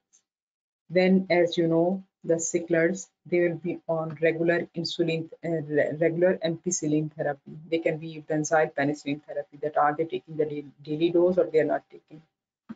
then sometimes you know these um, those who are thalassemics, they will be getting chelating agents. So is she taking any medicine? Patients with the autoimmune disorders, they will be they will be taking any drugs. PET patients, GDM patients. So according to their profile, will ask them that what are they taking, for how long they have been taking, and how it is affecting their life. So then what are her chief complaints? What are the main complaints? She will tell you that she's a bookcase, she has been referred from somewhere, or she is coming just on her own. And then what are her complaints? She is complaining of pain, bleeding, leaking. Whatever complaint is there, you need to write down their duration. You will write down point one, complaint one, two, and three. Then in the history of present uh, illness, you need to elaborate the symptoms that tell me about the pain. There are simple ways. You will ask open-ended questions Open-ended questions are those in which your patient will get a chance to tell her story. So, for instance, if he has pain abdomen, then you should say, okay, Fatma, tell me about the pain in your tummy. So she will say, that, yeah, doctor, I have this pain. It started three days ago. It was mild in the beginning, and uh, then it has increased. Now I cannot sit or lie down.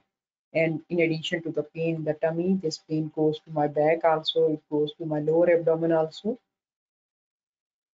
So if somebody has pain, you need to ask them 8 to 10 questions. So imagine in the asking, if you will ask her all about 8 to 10 questions on pain, then it will consume all the time. So how you will complete the session? You cannot. That's why you will ask open-ended question. Okay, Fatma, tell me about the pain in your tummy. She will tell you about everything this pain is there. If I will lie down, it will improve. Or if I will take paracetamol, if at all, then this pain will improve. Everything she is going to tell you. Okay. So just write down. If there is a discharge, similarly, she will open up and she will tell everything. So you have to elaborate the symptoms and you have to see that how they started, what caused it, was she doing anything, and what is the complication. And pregnant woman always ask him. So how is the baby moving? Can you feel the movement? Is it just like you the movement before? Then any history of, then go to the past history. Any history of diabetes, any history of high blood pressure. So when you are taking the past history, you are going to include everything. History of the present pregnancy. Tell me about the pregnancy so far. How were things in the first three months?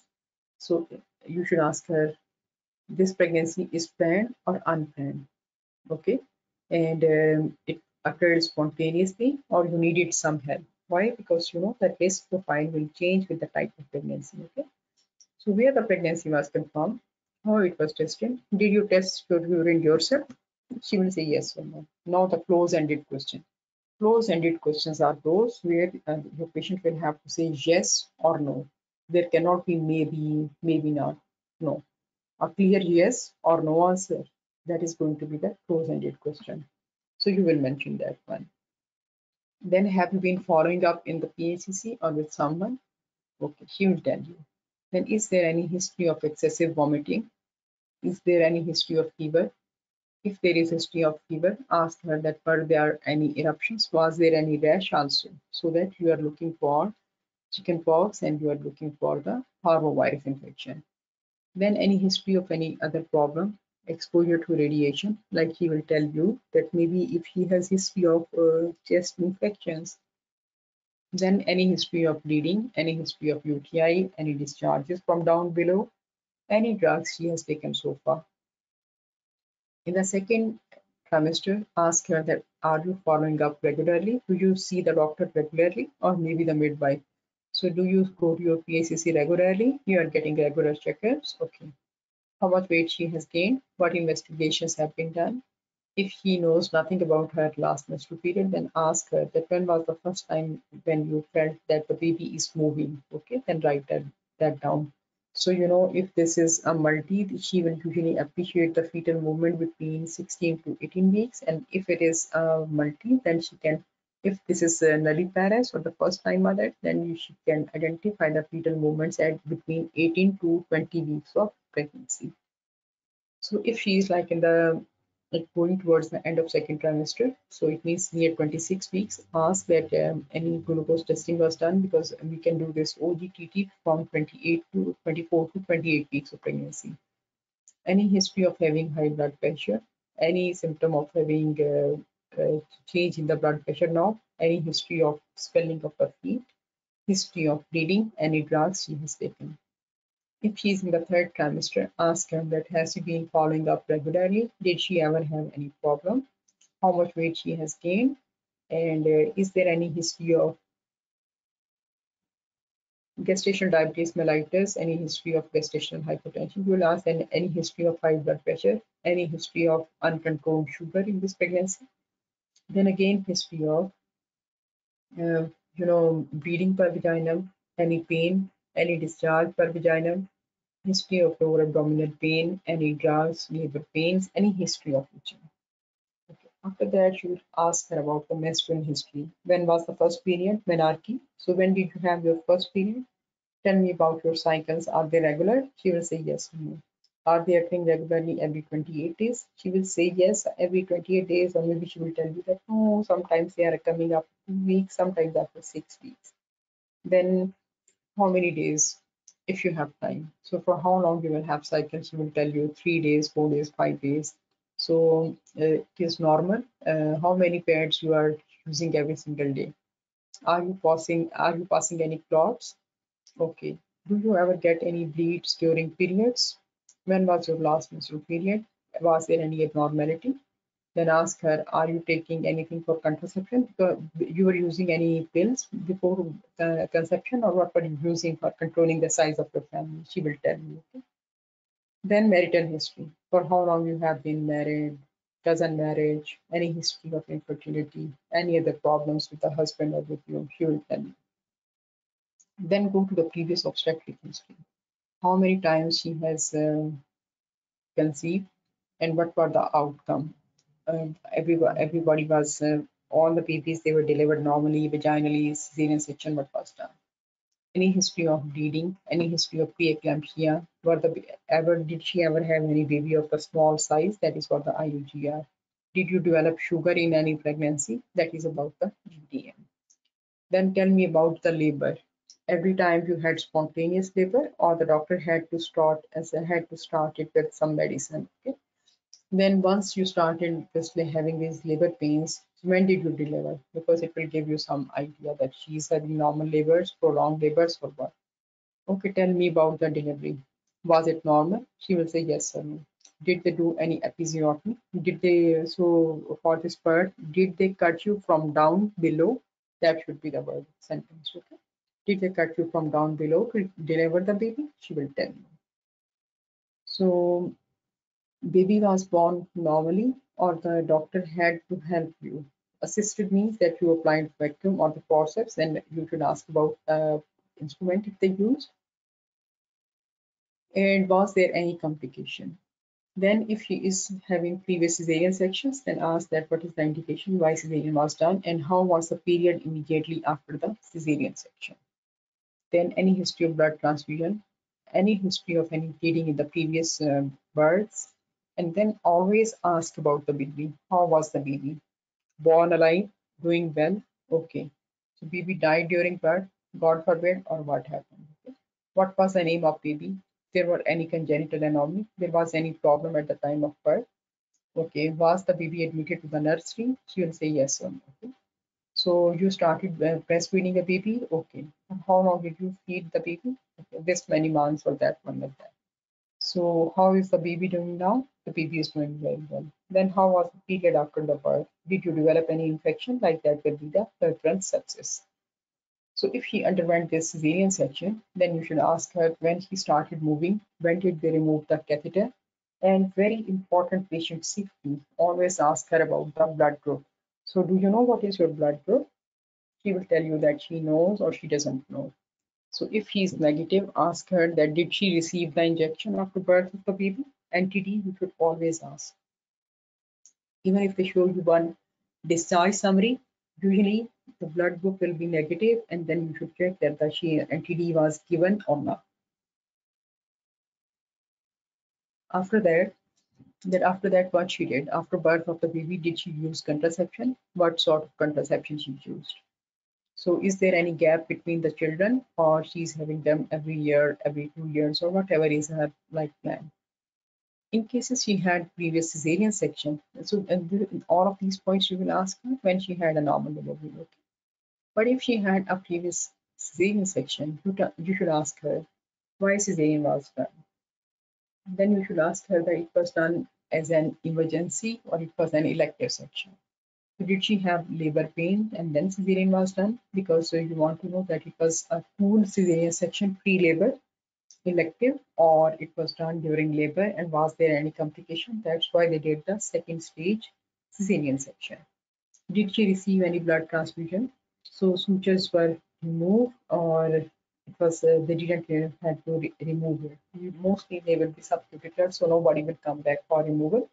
But if your patient is obese, maybe she will have had these staples. So any history of swelling of the feet, what time they remove the catheter, any leg pain, the leg pain because we are asking about the VTE, very important because number one cause of maternal death worldwide. So after cesarean, baby stayed with you or baby went to the NICU. So feeding was started or not. If they give you a case of unfortunately this stillbirth, you will ask her that uh, when was this baby delivered? In how many weeks of pregnancy it was? What was the weight of the baby? So patient developed the pains, she or she went into spontaneous labor or what? So what was the uh, cause of the death of the baby? Was it prematurity? That was the baby before born before 37 weeks of pregnancy? So did the baby have any anomalies? Uh, was the baby small for the dates? Any history of cord prolapse or cord compression? Any history of preeclampsia? Any history of the GDM? And then you should ask that if he had any abortions, what was the cause, after how many weeks she aborted, and uh, any history of any procedure, like maybe she came after incomplete miscarriage, so any history of dilatation and curettage, any other procedure and sometimes you know you know that medical termination of pregnancy is not offered but in certain conditions like in cases of pulmonary hypertension and in cases of anencephalic babies they can offer termination of pregnancy. Also in cases of chorioamnionitis in cases of Potter's syndrome the termination of pregnancy can be offered. So if uh, something was done in your patient then why it was done and after how many weeks of gestation it was done in the past history, you should ask about the surgeries, any history of operations, so why they were done, what, what procedure was done. Then also, you know, the history of having any other problems like GDA, like TM, hypertension, epilepsy, any history of, have you ever received blood transfusion? She will say yes or no. And then at the same time, you should ask her that if the need arises, will you accept blood transfusion? Because some patients, they will not accept blood, uh, blood transfusion for such patients, you will say that, okay, I will mention in your notes that you, you will not like to have blood transfusion. That so among the diseases, if the patient doesn't mention anything, you should ask her any history of jaundice, that any history of yellowing of the skin, any history of coughing, any history of blood with the cough, and uh, any history of having abdominal pain with discharge. All of these things you need to ask. Then also ask that any history of heart disease, any history of having diabetes, thyroid problem, any diabetes, any thyroid disorder, anything like that. History of drug allergies is very important. Then you will go to the person history. History of any medications, history of any psychiatric disorders, how is her sleep, are you able to sleep well, how is your appetite, how is your weight. So tell me about your waterworks, you have to ask about the bowel and the bladder function. For the bowel, you should ask her that every day do you pass the stool? Because you know you don't have to feel shy. Just ask in a respect a respectable manner. Okay. And how are your waterworks? When you have to ask about the bladder, how are your waterworks? Then do you smoke? If she says yes, then ask immediately. Have you ever thought about stopping it? Because you know this smoking is not good for you. You can have many complications. Okay, so do you take drugs? Because many youngsters, they like to take drugs for in also. So if, I hope you're not the one, but are you taking anything? Are you addicted to anything? You can ask very directly. diet. Do you eat well? Are you allergic to any food components? And uh, otherwise, you know, you don't have to ask. Then um, any change in the appetite? Like, are you, do you think you are eating more? Or in cases of hyperemesis, do you think that you are able to eat? If she will say yes, then ask her, are you able to keep uh, keep food down? It means that you are not vomiting like that. So all of these things. Then you need to ask about the family history. That if you don't mind, I need to ask some questions about your family. They will help me in calculating your risk. Are your parents alive? How are they doing? Do they have any disorder like diabetes, high blood pressure? You can say sugar, sugar in the blood, high blood pressure, any other any history of having uh, twins in the family. You will not say multiple pregnancy. Any history of having twins in the family? Okay, she will say yes. No. Is there any history of any uh, problems in the family, like the baby was not properly formed, baby had some problem? She will say yes or no. Okay. Any history of infections like uh, cough, cough with sputum or cough with blood and something like that? Okay, no any history, any of any other condition in the family, basically you need to ask about the bleeding disorders. Is there someone who will bleed a lot after a small cut, something like that? She will say no. Then in the end, she will summarize the whole history for your patient. So can I tell you that, so what I have understood or gathered from you is that you are 30 year old female and you are gravida parent or watching this one and you came to and you now you are 22 weeks pregnant and you have come to us with the complaint of let's say abdominal pain for the last few days or you can say that okay your baby was not moving and you have been referred to us by, the, by your primary health care physician and you have come from Mahal, you have come from higher and you also have diabetes, hypertension, asthma, and the heart disease and that's why you have been referred here. Uh, so we have admitted you for evaluation or workup or, or, for the confinement of the patient in, in, cases of abuse, in cases of like um, injury, you can say that we have admitted you for confinement or for further assessment. So that's all about the obstetric history taking. And I will once when we finish it today, today and tomorrow, I want you to go over them uh, quickly because you will remember these points because in, in one way or the other you are going to use the same points in the history. So any question any issue so far? Okay. So as you have seen half of your patients will be from the ob half will be from the gynae usually what happens is four are taken from the gynae four are taken from the obs and other two stations, they will test your non-technical skills.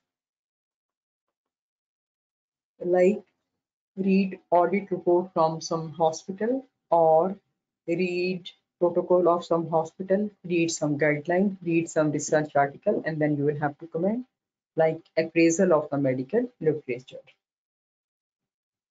Okay, and the second aspect will be to take gynecological history. So you are doing it on the time.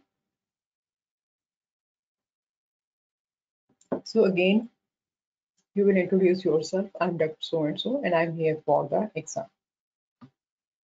Uh, can I confirm your a name and age? She will tell her name and her age. So you need to start with the open-ended questions. Like you will say like you have a patient with pain, so you can say that, can you please tell me about this pain in your tummy? and then you can ask her uh, you will ask like three four open-ended questions. Okay tell me about the pain. Okay tell me about the bleeding. Okay tell me about this water that came out of your tummy. She will tell you that it, it was a color no change. What time it came? What happened? That what what i did later? and stuff like that okay so if she's giving you the history that she has bleeding, she has given you some basic information. After that, you need to ask her specific information. So you will ask now the close-ended questions. Close-ended questions are, she has told you that she had bleeding and she has been caring and uh, receiving treatment. So you will ask her, so you are still bleeding heavily. She will say yes or no because its uh, its answer cannot be like as like a plus minus she will have to say yes or no, or she will say that yes, it is occurring, but it is not that bad now. I mean, it is less than before, but still I'm having this problem. Or she will say that no, no, no, this bleeding has stopped. So you can understand that she will have to give one confirmatory answer. And you also have to summarize the history again, okay? So again, in the identification, what is your name? How will you like me to call you? So uh, tell me about your age, please. So uh, tell me that uh, are you getting these periods regularly? Or she will tell you that uh, no, my periods stop. Okay, if they stopped, when did they stop? So what uh, para and how many live births? And she has come from which room you have come. So did you attend university or you can say that did you go to the college? She will tell you something that she's a professional but usually you know this uh, these things they will not write in the history in the introduction. They will not write that she's a nurse or she's a doctor. They will just write down that you are about to see a 27 year old patient who has been having heavy vaginal bleeding and she has noticed that the size of her tummy is also increasing. So you should know one thing that if they're writing something, if she really has this problem, so you are going to trust them. So how many children you have before? All of them are alive. You never had any miscarriage. No baby died like that. So from where you have come? So did you attend college? Did you attend university? So how do you earn your living? So do you work? You can ask that one also. So how much money do you? How much do you make every month? So it will give you some idea about her socioeconomic status because you know that is also important. Post maturity is more common in the high socioeconomic group and uh, prematurity is more common in the uh, poor, uh, relatively poor people or the lower socioeconomic strata. Then are you married? Okay.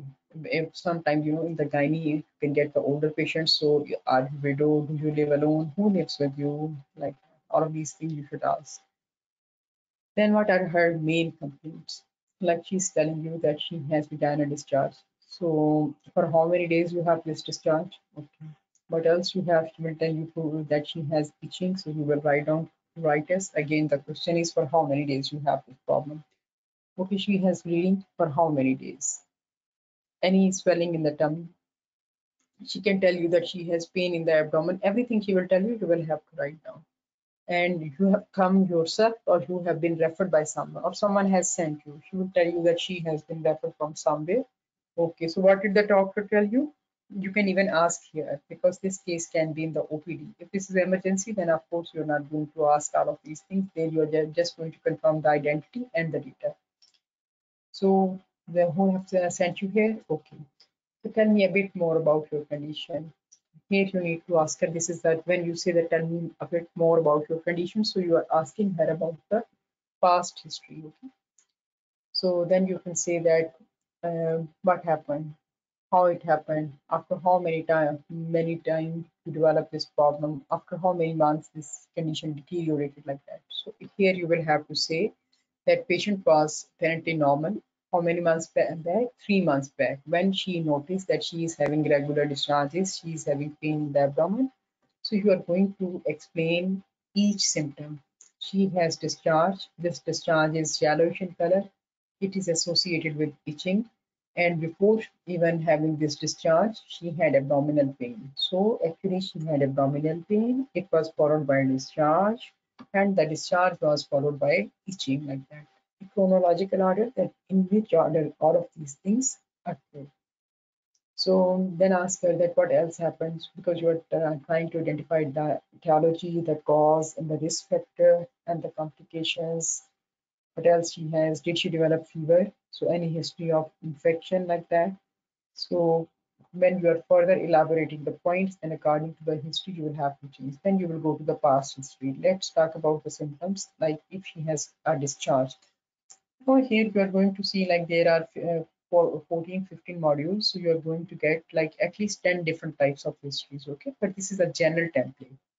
Like if somebody has come to you with a vaginal discharge. Okay, so what you should ask for. So when did this start? For how long you are having it? That it started suddenly or it was gradual, like it was thick in the start and then it changed its character amount, quantity? Is it like very little or it is moderate or it is too much, excessive discharge and she has to change her dresses frequently or she has to wear a pad? So tell me about a bit more about the discharge. What is the consistency? Is it thick? Is it thin? Is it frothy? Or it is watery? It, or there is pus So you can ask about the color. Is it white, green, gray, yellowish? So don't give her a lead that is it white? Is it green? Tell, ask her, what is the color of the discharge? Is there any smell? She will tell you. Then this discharge, this is continuous or it is coming and going.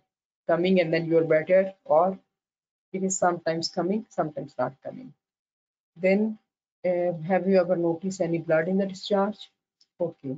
So when are you having this discharge? When you have this menstruation just before that or after finishing the menstruation or one week after the menstruation or in the middle of the cycle. So it will give you some clue because if there is too much discharge before having this period, then it means that maybe she has a polyp or maybe she has cervical ectropia and both will present in the same way. Patient will have more discharges before periods. Is she having a periods, then maybe she's getting some infection or that is only physiological discharge. If she is having too much water discharge in the middle of the cycle, then maybe this is because of the more estrogen into the system and this is not pathological. Then if she has discharge, does she have itching? Um, does she have like a feeling of uh, something is bothering her? And then is, is associated with any pain or anything like that or? Then if the patient is coming to you with vaginal bleeding, then what sort of questions you should ask her? That tell me a more um, a bit more about this bleeding. So are you having this bleeding like she will tell you periods. So are you having regular monthly bleeds she will say yes or no. Then you should ask her that do you have this cycle more than once in a month? That will be polymenorrhea okay? Then ask her that do you get periods every month? If she will say no one month I will get, and then for two, three months I will not get. So that will be oligomenorrhea. Then you need to ask her that are you having multi having this bleed multiple times or what? If he says that heavy bleeding, then you need to ask her that uh, this bleeding on this in the start of the cycle or for how long you are having it and uh, how much heavy it is, how many pads you are using every single day. Are you passing the blood clots? Is it associated with the pain? For how, for how many days on average you will bleed? So then you need to ask her that what is the interval between the two bleeds? Okay, and this bleeding is continuous, it is intermittent. Then at the same time, you need to ask her that uh, do you ever get bleeding? How this bleeding started? It will start after having the intercourse, or it will occur without any intercourse and do you get bleeding in between the periods also or you don't get it okay? Then you need to ask about history history of sexually transmitted infections. Like did you ever get this sort of uh, infection before condition before where you had the discharge or your husband did develop this problem where he had too much discharge like that something like that? Or you had discharge and itching like that bleeding you have to ask about the STIs also because in chlamydial infection, she can have these post-coital bleeds. In human papillomavirus infections, after that, she can have bleeds again. Any history of uh, infection? Why we are asking about TB? Because TB is again, again becoming very common. So you need to ask any history of respiratory infections because um, you need to ask that there is no other sort of infection in this patient. So are you using any pills, combination pills for controlling the size of for family planning. That should be the thing, okay? Because uh, some COCPs, what they do, the mixed diet, they can cause ectropia. So there is because the patient will have the body will get this message that she is pregnant like that. So there will be growth of epithelium on the transformation zone. So on touch or even without sex, she can have this bleed then are you wearing any intrauterine device for controlling for family planning? She will say yes or no. Then, you know, in the start, in the first three months, she can have like spotting and especially, uh, you know, if she has this levonorgestrel or Mirena, then again, she can have slight bleed. If you want to ask about the history of a mass abdomen, then you should ask her that when was the first time she noticed that there is something in, inside her tummy. So this did this swelling become visible suddenly or it was like small in the start and then gradually increase over a period of time. When was the first time she noticed? So where did she see feel uh, this swelling for the first time? Then what was the size? So in how many months it has grown in the size? Is it associated with any pain?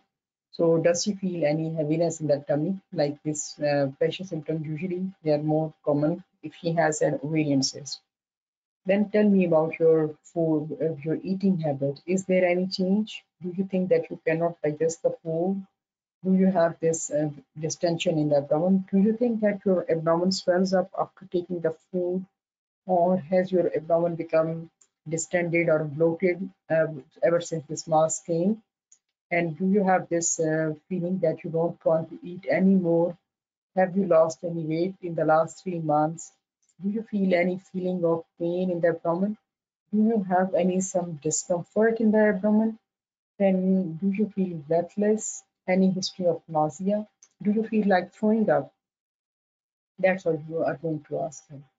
If she's, uh, you want to ask about uh, vomiting, are you always throwing up because she has this abdominal mass or she has this um, swelling? You, that's why you are asking. So does your feet swell? Because you are asking about the edema. So if you have to ask about the pain, again the same question Tell me a bit more about your pain, how it started. Uh, did it come suddenly or it was gradual in onset? Where exactly you have the pain? So this pain is felt only here or it goes to other parts of the tummy also? So tell me about the, you know, for how long you will you are having it. So tell me about the pain. It is continuous or it will come and then you will feel better and then it will come again or tell me that when do you feel the pain more then do you think that pain occurs near your cycle? She will say yes or no. Do you think that pain will occur at any time? It has no relationship with your cycle. She, she will again say yes, no, or anything. Then do you feel the pain only in this side? Let's say that she is having pain on the right side of her tummy. So this pain is only on the right side of your tummy, or you can feel pain in some other areas also. Don't guide her that do you feel pain on the left side of the tummy? She will, of course, she will say yes. So do you feel pain only on the right side of your tummy or you feel in some other area? So she will tell you that what she feels. So then you should ask her, have you ever noticed that what will you do and then this pain will decrease? So you are asking about the aggravating factors. Then you should say that have you ever noticed that you will do something and then the pain will increase? So you are asking about the aggravating factors. So tell me when you have these pains, do you vomit with it have you ever developed fever with this pain? Like that. So all of these things you should be asking. So if you are asking um, a patient who is like older or even the younger patient that can present with prolapse, so how you should ask her that have you, uh, so tell me what do you feel?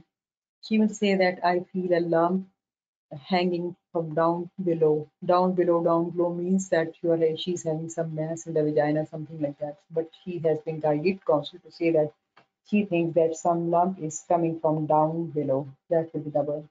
So when did you notice first? So it, it has gradually increased in size or it was big right from the start. So uh, so do you think that when you are straining, when you are trying hard to pass the urine quickly, or you're trying hard to pass the stool, do you think that it increases in size? So you are saying that what is the effect of straining on that? So what happens to this mass if you will cough or you will pass stool or you are like exerting to pass urine or when you are exercising or does the size increase when you are lifting any weight like you are putting pulling up with uh, carrying the groceries which you have bought from the supermarket, do you think that after that the pain increases or what? So when you lie down, does this mass decrease in size? This is about the prolapse. So she will say yes or no. So have you ever tried to push this mass back with your fingers? She will say yes or no. So what happens when you do she will tell you that this mass will decrease or it will not decrease. So you can say that this mass is reducible or not reducible. So what exactly do you feel? Is it hard for you to walk with this thing hanging dangling down between the legs? Or how so if it is affecting you, then how do you continue your daily work? Because maybe she's a professional, she's a teacher, she's a doctor, she's working somewhere else. Then it must be very bad for her. So how she's dealing with that with it. So when you will ask her that, can you please tell me that how it has changed your life? So how it is affecting your life? So sometimes they will start crying, sometimes they will simply volunteer, they will share something with you. So write down. Then if there is history of uh, prolapse, which is the mass which is felt on the vagina. So do you feel fullness or heaviness in the vagina? You would say yes or no. So it is coming out of the vagina. For how long you have been having this problem? Again, the same questions. So can it this be pushed back upwards or it cannot be pushed? He will tell you. Can you push it back? You will say no. So it means that whenever you will, even when you will try to push this mass back into the into place, it will not go back. You will say yes. So you are using a combination of open-ended questions and the close-ended questions. Then you will ask her that, uh, okay, when this thing comes out, this mass comes out, she will say that I have a bulge down below. So do you feel pain in your back? Because it is usually associated with back pain because of the pull on the nerves. Then uh, you should ask her that tell me about your waterworks. Are you able to pass the urine, pass urine as you were doing before? Or then tell me that do you have to pass urine more often than you than, than you were doing before? Then you can say that do you think it is hard for you to start passing the urine? Because maybe there is some compression, so she cannot pass the urine uh, properly, then you need to ask her that once you pass the urine, do you are you satisfied that your bladder is empty or you need to uh, put exert some force to pass urine? So she will tell you about that. Okay. And sometimes you can you need to ask her that do you have to push this mass up if you want to pass urine? She will say yes, I have to push it up or I have to hold it with my fingers and only then I can pass urine. So then you should see uh, tell her that you think that uh, because that you can uh, empty your bladder fully or you cannot. That is that you can pass out whole blood or you cannot. Then ask her any history of infection in the urine. She will say yes or no. Then you should ask her that have you ever noticed that if you will cough, you will laugh or you will sneeze and then at the same time you will wet yourself. You will, because we cannot ask the patient that do you have stress incontinence? She is not a medical person then, so you will not use the medical jargon. Just ask her that when you laugh, you uh, uh, you know carry some weight, or you sneeze. So do you wet yourself? It means that you are leaking urine or you're not. So do you feel any pressure like feeling in your tummy? He will say yes or no then you should ask her that uh, are you able to pass the pass the school or you're not. You can also say if the educational level of patient is higher, then you can say that can you move your bowels every day or you cannot. Then what is the effect of, do you have this continuous cough? Chronic cough means that she has cough for more than two weeks. And then any history of having any lung disease, trust me that even if your patient has history of asthma, she can develop urinary incontinence because she will be sneezing and coughing so hard that the urine will also leak. Any history of tumors in the abdomen before, then you should ask her that does she have any discharge, does she have any bleeding, then you should ask her that since you have this mass here, so how it has affected your life. Are you able to have sex? Or you cannot have sex, then you need to ask her that do you think that you pass, you leave wet yourself during sex? Are you afraid to have this sex because you are afraid that you will wet yourself or if you will have pain or you are feeling embarrassed? You know, all of these things, they have effect on the quality of life. So you need to ask during exam also. Regarding bowel or uh, bladder habit um, history, you should ask that are you able to pass urine properly? Do you feel any pain or on passing urine? Any history of having any problem in the kidney? Do you have any mass in the abdomen? Any any this did the doctor ever tell you that you have some a harmless mass in the tummy like that, she will say yes or no. Then do you think that you have to pass the urine more frequently? Do you think that you cannot pass the urine happily and then you have to pass, go to the bathroom again and again because you cannot empty your bladder fully? And then do you have difficulty in passing the urine? And then if, if uh, another condition can be then that your patient is having some cancers. Okay? So she, you are suspecting that she is having some cancers. Then what you will do? You should again ask her any history of increase. You know this. You have to pass urine many times a day, or like before. Do you feel any pain on passing urine? Do you have any blood in the urine? Then for the incontinence, you will ask her that are you able to pass urine like that? Okay and um, then you you will ask her any any history of diarrhea, any history of um, any surgery was done in the uh, cancers. Are you able to hold your urine? Any history of forming any problems, any uh, sacs, any cysts like that, thing. And uh, then uh, you, you need to see that any bleeding per rectum, any other abnormality like for the menstrual history, you need to ask what was the age when you have your first period. And then if she's postmenopausal, then it is common sense that you will ask her about the last periods. When were her last periods? So when you were having cycles, were they regular, irregular? After how many days you was getting the periods? Then for how many days the period used to last? Then about how much blood you think you were, how, much, how, how many pads you were using every single day because if he's using one pad maybe it has like 10 ml 15 ml whatever is the content is it associated with passing blood clots any history of um, you know bleeding during the periods or any history in the any history of passing blood after the menopause any other bleeds when was the last menstruation then if she is on regular then ask her that do you go to the clinic for cervical smears because now more and more trend is increasing because more cases of uh, cervical cancer coming to the scene. So have you been going for the scan for the smears? She will say yes. Regularly, yes. So what was the result of the last smear? Okay, she will tell you that it was fine. Then ask her that anytime the results were not normal, you will mention, she will say yes or no or like so after that, for how long you have been married, how many children you have, what do you use for the family planning? You will not say that what you will use for contraception. What do you do for family planning? This is understood and they will get this information. So they, they will tell you. Obstetric history, any history of infertility, do, do you have children do you have no children any history of miscarriage you can say that any history of losing babies before five months of pregnancy any history of having pregnancy outside the womb. So what was the age when you had the first baby? And then, then how were the babies? Were the babies vaccinated? Were you able to breastfeed them?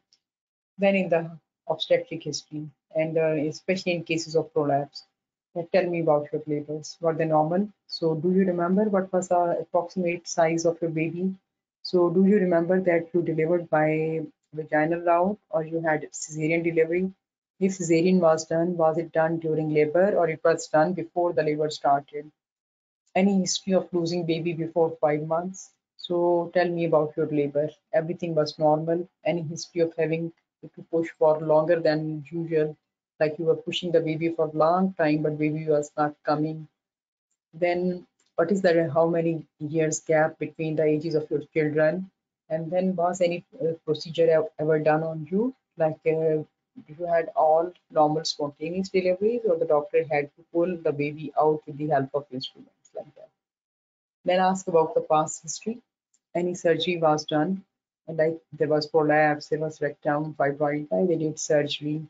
And then is there any history of hysterectomy, any history of removing the tubes, any history of tying the tubes, closing the tubes, past history of TB or other infections like the pelvic inflammatory disease, history of chlamydia, history of gonorrhea, any other medical disorder like the cardiac disease, diabetes, endocrine disorders, thyroid disorders, any history of colon or endometrial cancer, ovarian, the breast cancer. Then the person history. Are you allergic to any medicine? So what happens when you take it? You will have rash or she will tell you that she will have only rash or she had to be rushed to the hospital. So when she says that no, I had to go to the hospital, then you will say, okay, so you develop reaction to that drug. So does your doctor know about it? Okay, I will write it down in red color here or I will enter in your record so that nobody will give it to you even by mistake. Then tell me, are you taking any medicines? Why you are taking them? Who gave this medicine to you? For how long you are taking? Are you able to tolerate the side effects? Or everything you should ask. Tell me about your sleep. Are you able to sleep well? Do you feel fresh in the morning? Tell me about your appetite. Are you able to eat or you don't feel like eating? Then tell me, have you lost any weight recently? She will say yes, no, no. Then um, you can say that I need to ask some personal questions. They are important for your management, but uh, don't mind them, you know. Uh, these things are very common nowadays. Do you drink alcohol? Do you smoke? Do you have you ever taken any other drugs? And if you'll say yes, I take alcohol, I like this one. Very hard that anybody will say, but if they tell you that no, I smoke shisha and that I like this shisha or I smoke on cigarettes, then you need to offer her that you have a, have you ever thought about quitting? He will say yes or no. So the, if he says that yes, I want to quit, then you, you will say very good plan. I will refer you to the services. Uh, they will help you, and then and then you can stop this habit. then ask about the diet of the patient. What sort of diet you take? Do you take fruits and vegetables, or if you does don't? Do you eat a lot of uh, you know fast food stuff? Are you buying from outside? So you should mention and then uh, in that that will be in the general physical examination that you will notice the BMI of the patient okay in the general physical examination. Then other things any history of infections any history of pain on having sex then the family history again the usual questions like any family history person history of cancer of colon endometrium ovary breast. You should remember that breast is also in the OB-GYN uh, domain. Uh, till that out, uh, point of diagnosis, this is your domain. Once the patient is going for surgery, that will be the job of the surgeon. But before that, all investigation, suspicion, risk factors, assessment, that is job of the gynecologist. Again, you have to summarize the history. When you are summarizing the history, it is giving you additional marks. First of all, you are not missing any important information. Then the second thing is you are reminding the examiner that you can conclude everything. Okay?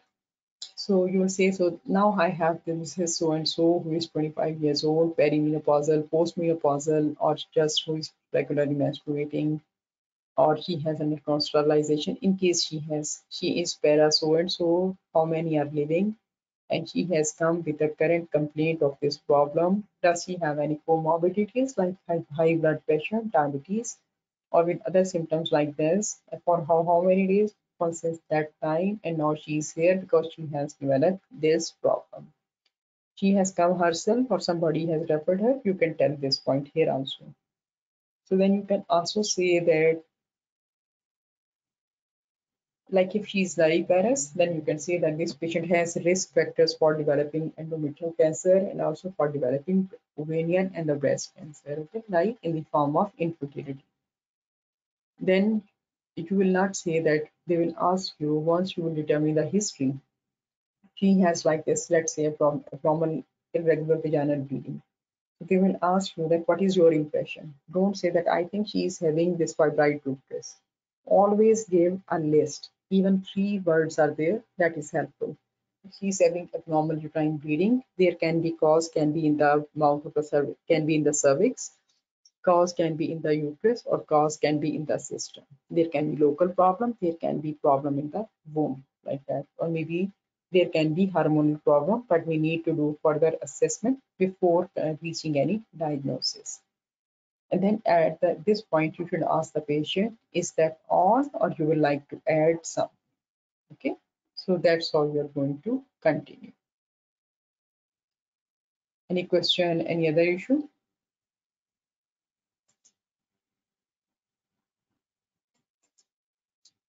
Any other problem you have?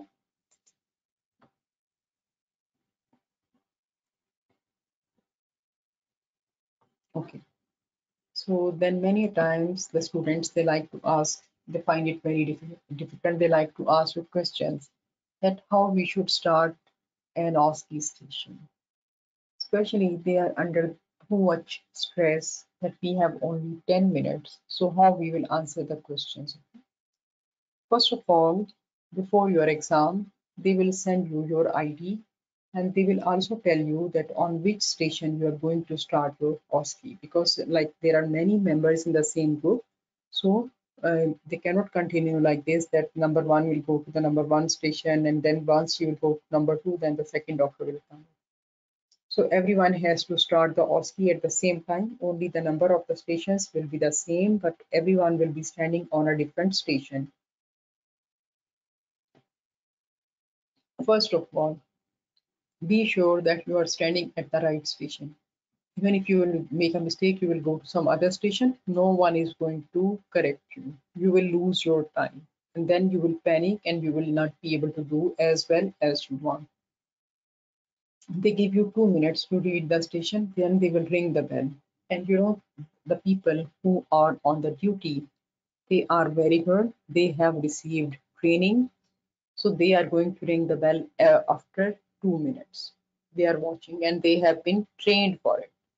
So read the scenario very carefully and then see that what exactly is the task, what they are asking you and note down important information. What will be the important information? What is the name of the patient, age, weeks of gestation, comorbidities, any abnormal test results, ultrasound findings, what has been done so far, and the location of the patient is very important. They will tell you that this patient is in the OPD, this patient is in the ER, this patient has is on the board. So location is also very, very important. It's going to give you a good idea about the patient. So you can check clinical information with the patient, but if you forgot the task has been tested, then you know it will be disastrous. So just see what exactly they are asking you. So you know you you have to maintain a balance like you cannot take a detailed history and if the history is already given there and they're asking you to do something else the task is different. Then if you start taking the history and use and the time passes then they will not give you extra time or they will not even give you the credit because history they had already given.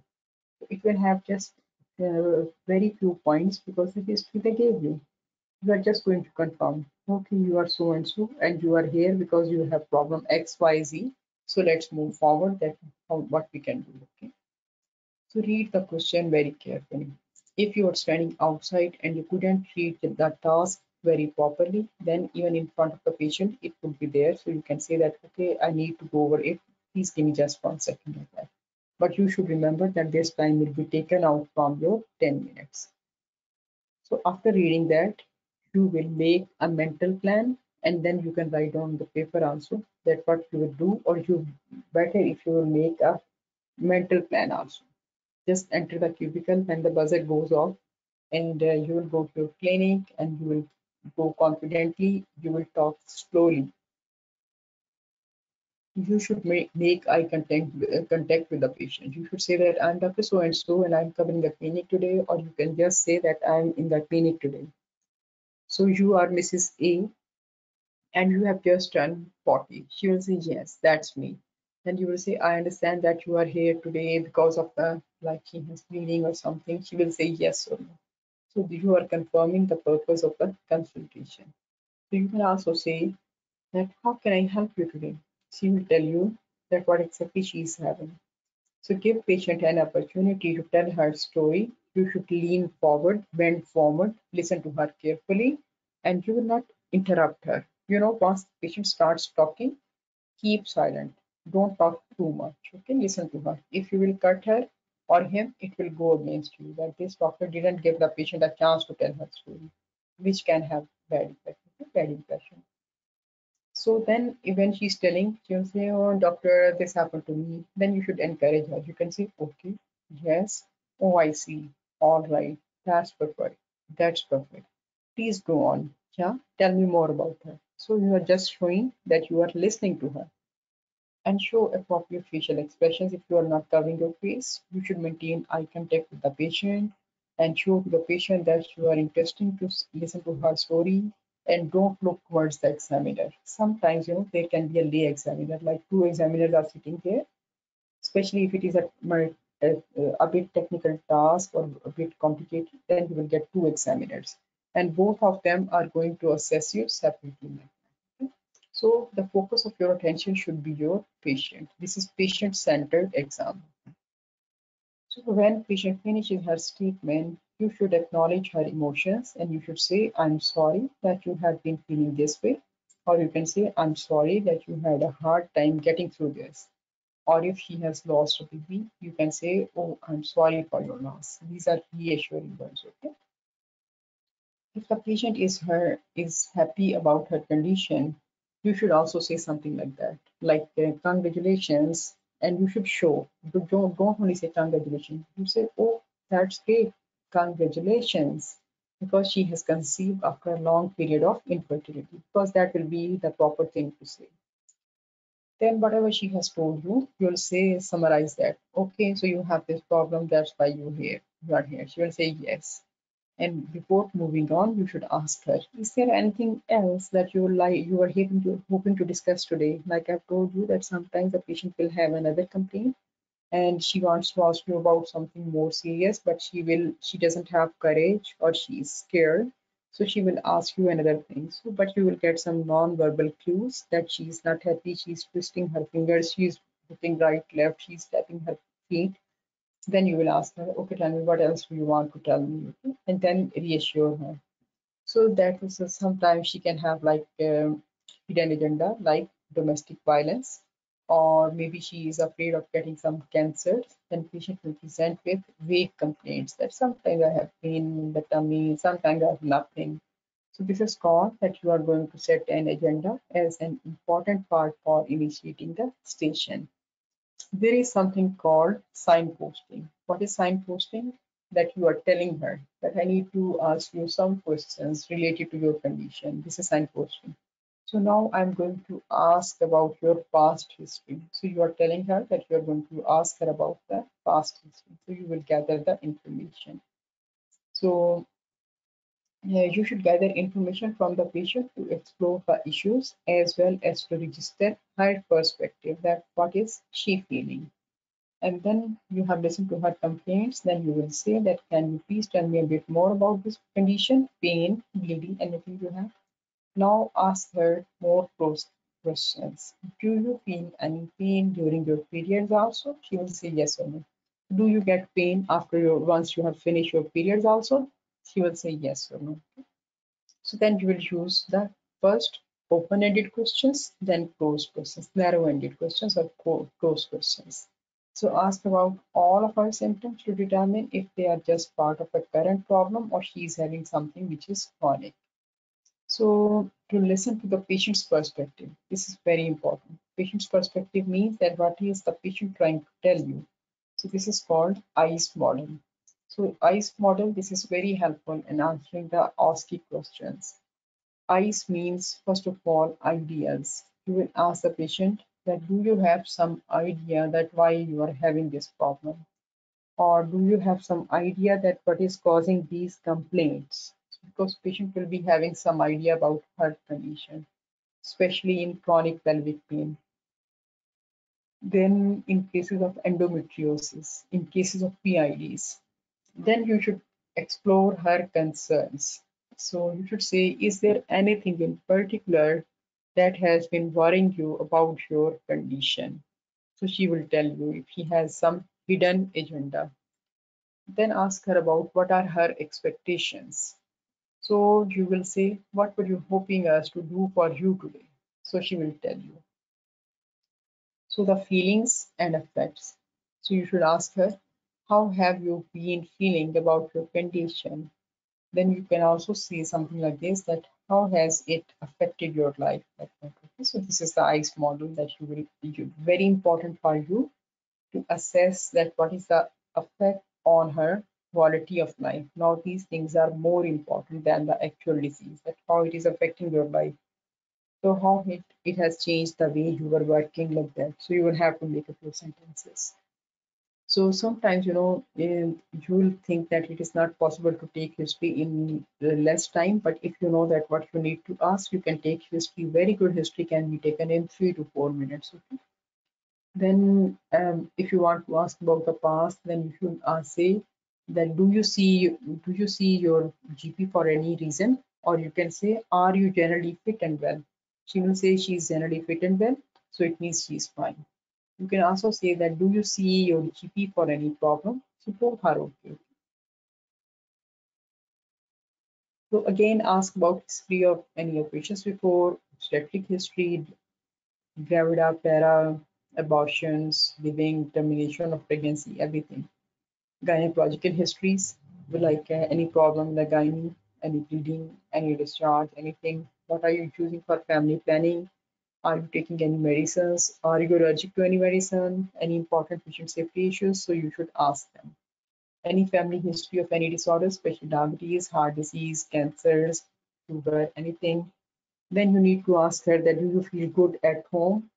Then, you know, if you are suspecting abuse, like patient is not talking to you, she's not engaging in engaging in conversation, then you need to ask her do you feel safe at home? These are specific questions, okay? Then you can also ask, do you have sport at home? Do you smoke? Then if she says, yes, I smoke, then you should ask, is this a regular smoking or what? If you say, yes, I take, I smoke every day, what's wrong with that? You should say, ask her that it is important for management, for your management, and you want to see what is the effect on the baby.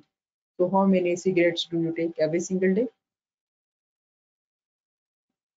he will tell you then you will ask her that have you ever thought about stopping it like that if you will say yes i want i have thought about stopping it then you need to ask her okay i will give you reference of someone you know that uh, smoking cessation programs are there then do you take any drugs do you take do you exercise do you take any healthy diet anything like that so then you know you need to establish a good relationship with the role player or the standardized patient so in the exam, you know, you have to talk slowly, clearly, you have to stay calm, don't panic, your tone should be friendly but firm. Okay.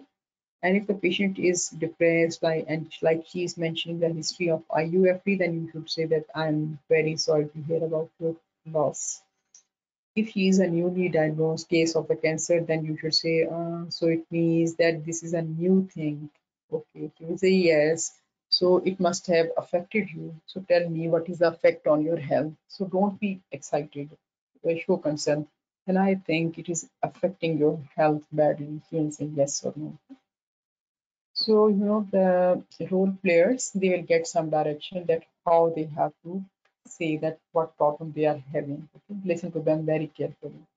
Then you should also say if she's having something bad then you should say that it must be very difficult for you to go on while you are having you have been feeling this way again summarize everything signpost and alerting and then you have to focus on empathy throughout the entire station and then explain to the patient about the full range of management options see we, what we can do today is this this this do you like it then how much time that your treatment will take what is your diagnosis. Always say that still we have not confirmed diagnosis. So let's see, we need to run some tests on you, then we can say that what should be done for you.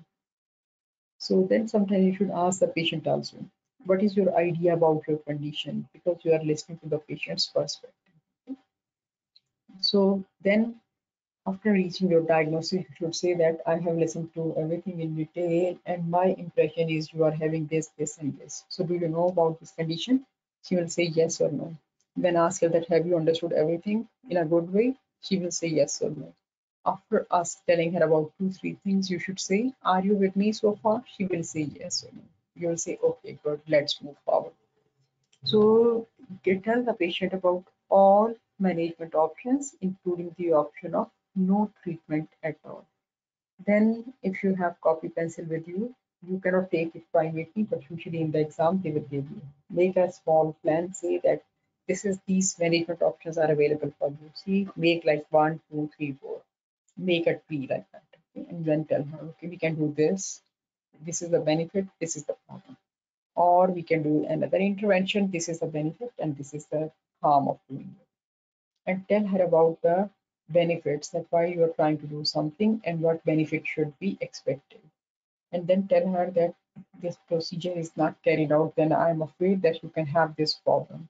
Then she will ask you is there no uh, other solution? You should tell about alternative treatments like if she is having postmenopausal symptoms then tell her about the contemporary alternative therapies but tell her clearly that is there any evidence of beneficial benefit or no evidence of benefit. So you will have to tell about the alternative treatments, pre and the post in intervention information, and then you know in cases of female genital mutilation, in cases of sexual abuse, in cases of domestic violence, you will have to alert the safeguarding teams from uh, for the protection of the children of that community. The safeguarding you should never forget. In certain cases, you have to do that. So you have carried out a full assessment. Then how do you close consultation session? You will say, so miss you so and so who are a diabetic and you are seeking information about starting your family. This is just one example. She will say yes. And then you will summarize the most important points in the history, include her wishes in the management plan and agree on the next step and then how you're going to achieve it and who is going to be her doctor throughout her care. So you will have to ensure patient safety, like uh, don't leave any patient in the middle. If you're referring her, you have to make arrangement for her transfer of the service also. Then you should always tell patient that if she develops something, when the PHCC is closed or the ER is not accepting anyone, then you should come back and then you should talk to her that give me this problem okay? So that is the point. Then you should close by checking if she is happy with the chosen plan. And then tell her thank you very much for coming to the clinic today and talking to me. Is there anything else which i can do do for you? Like that. That is so that's all you need to tell her. Okay dears. So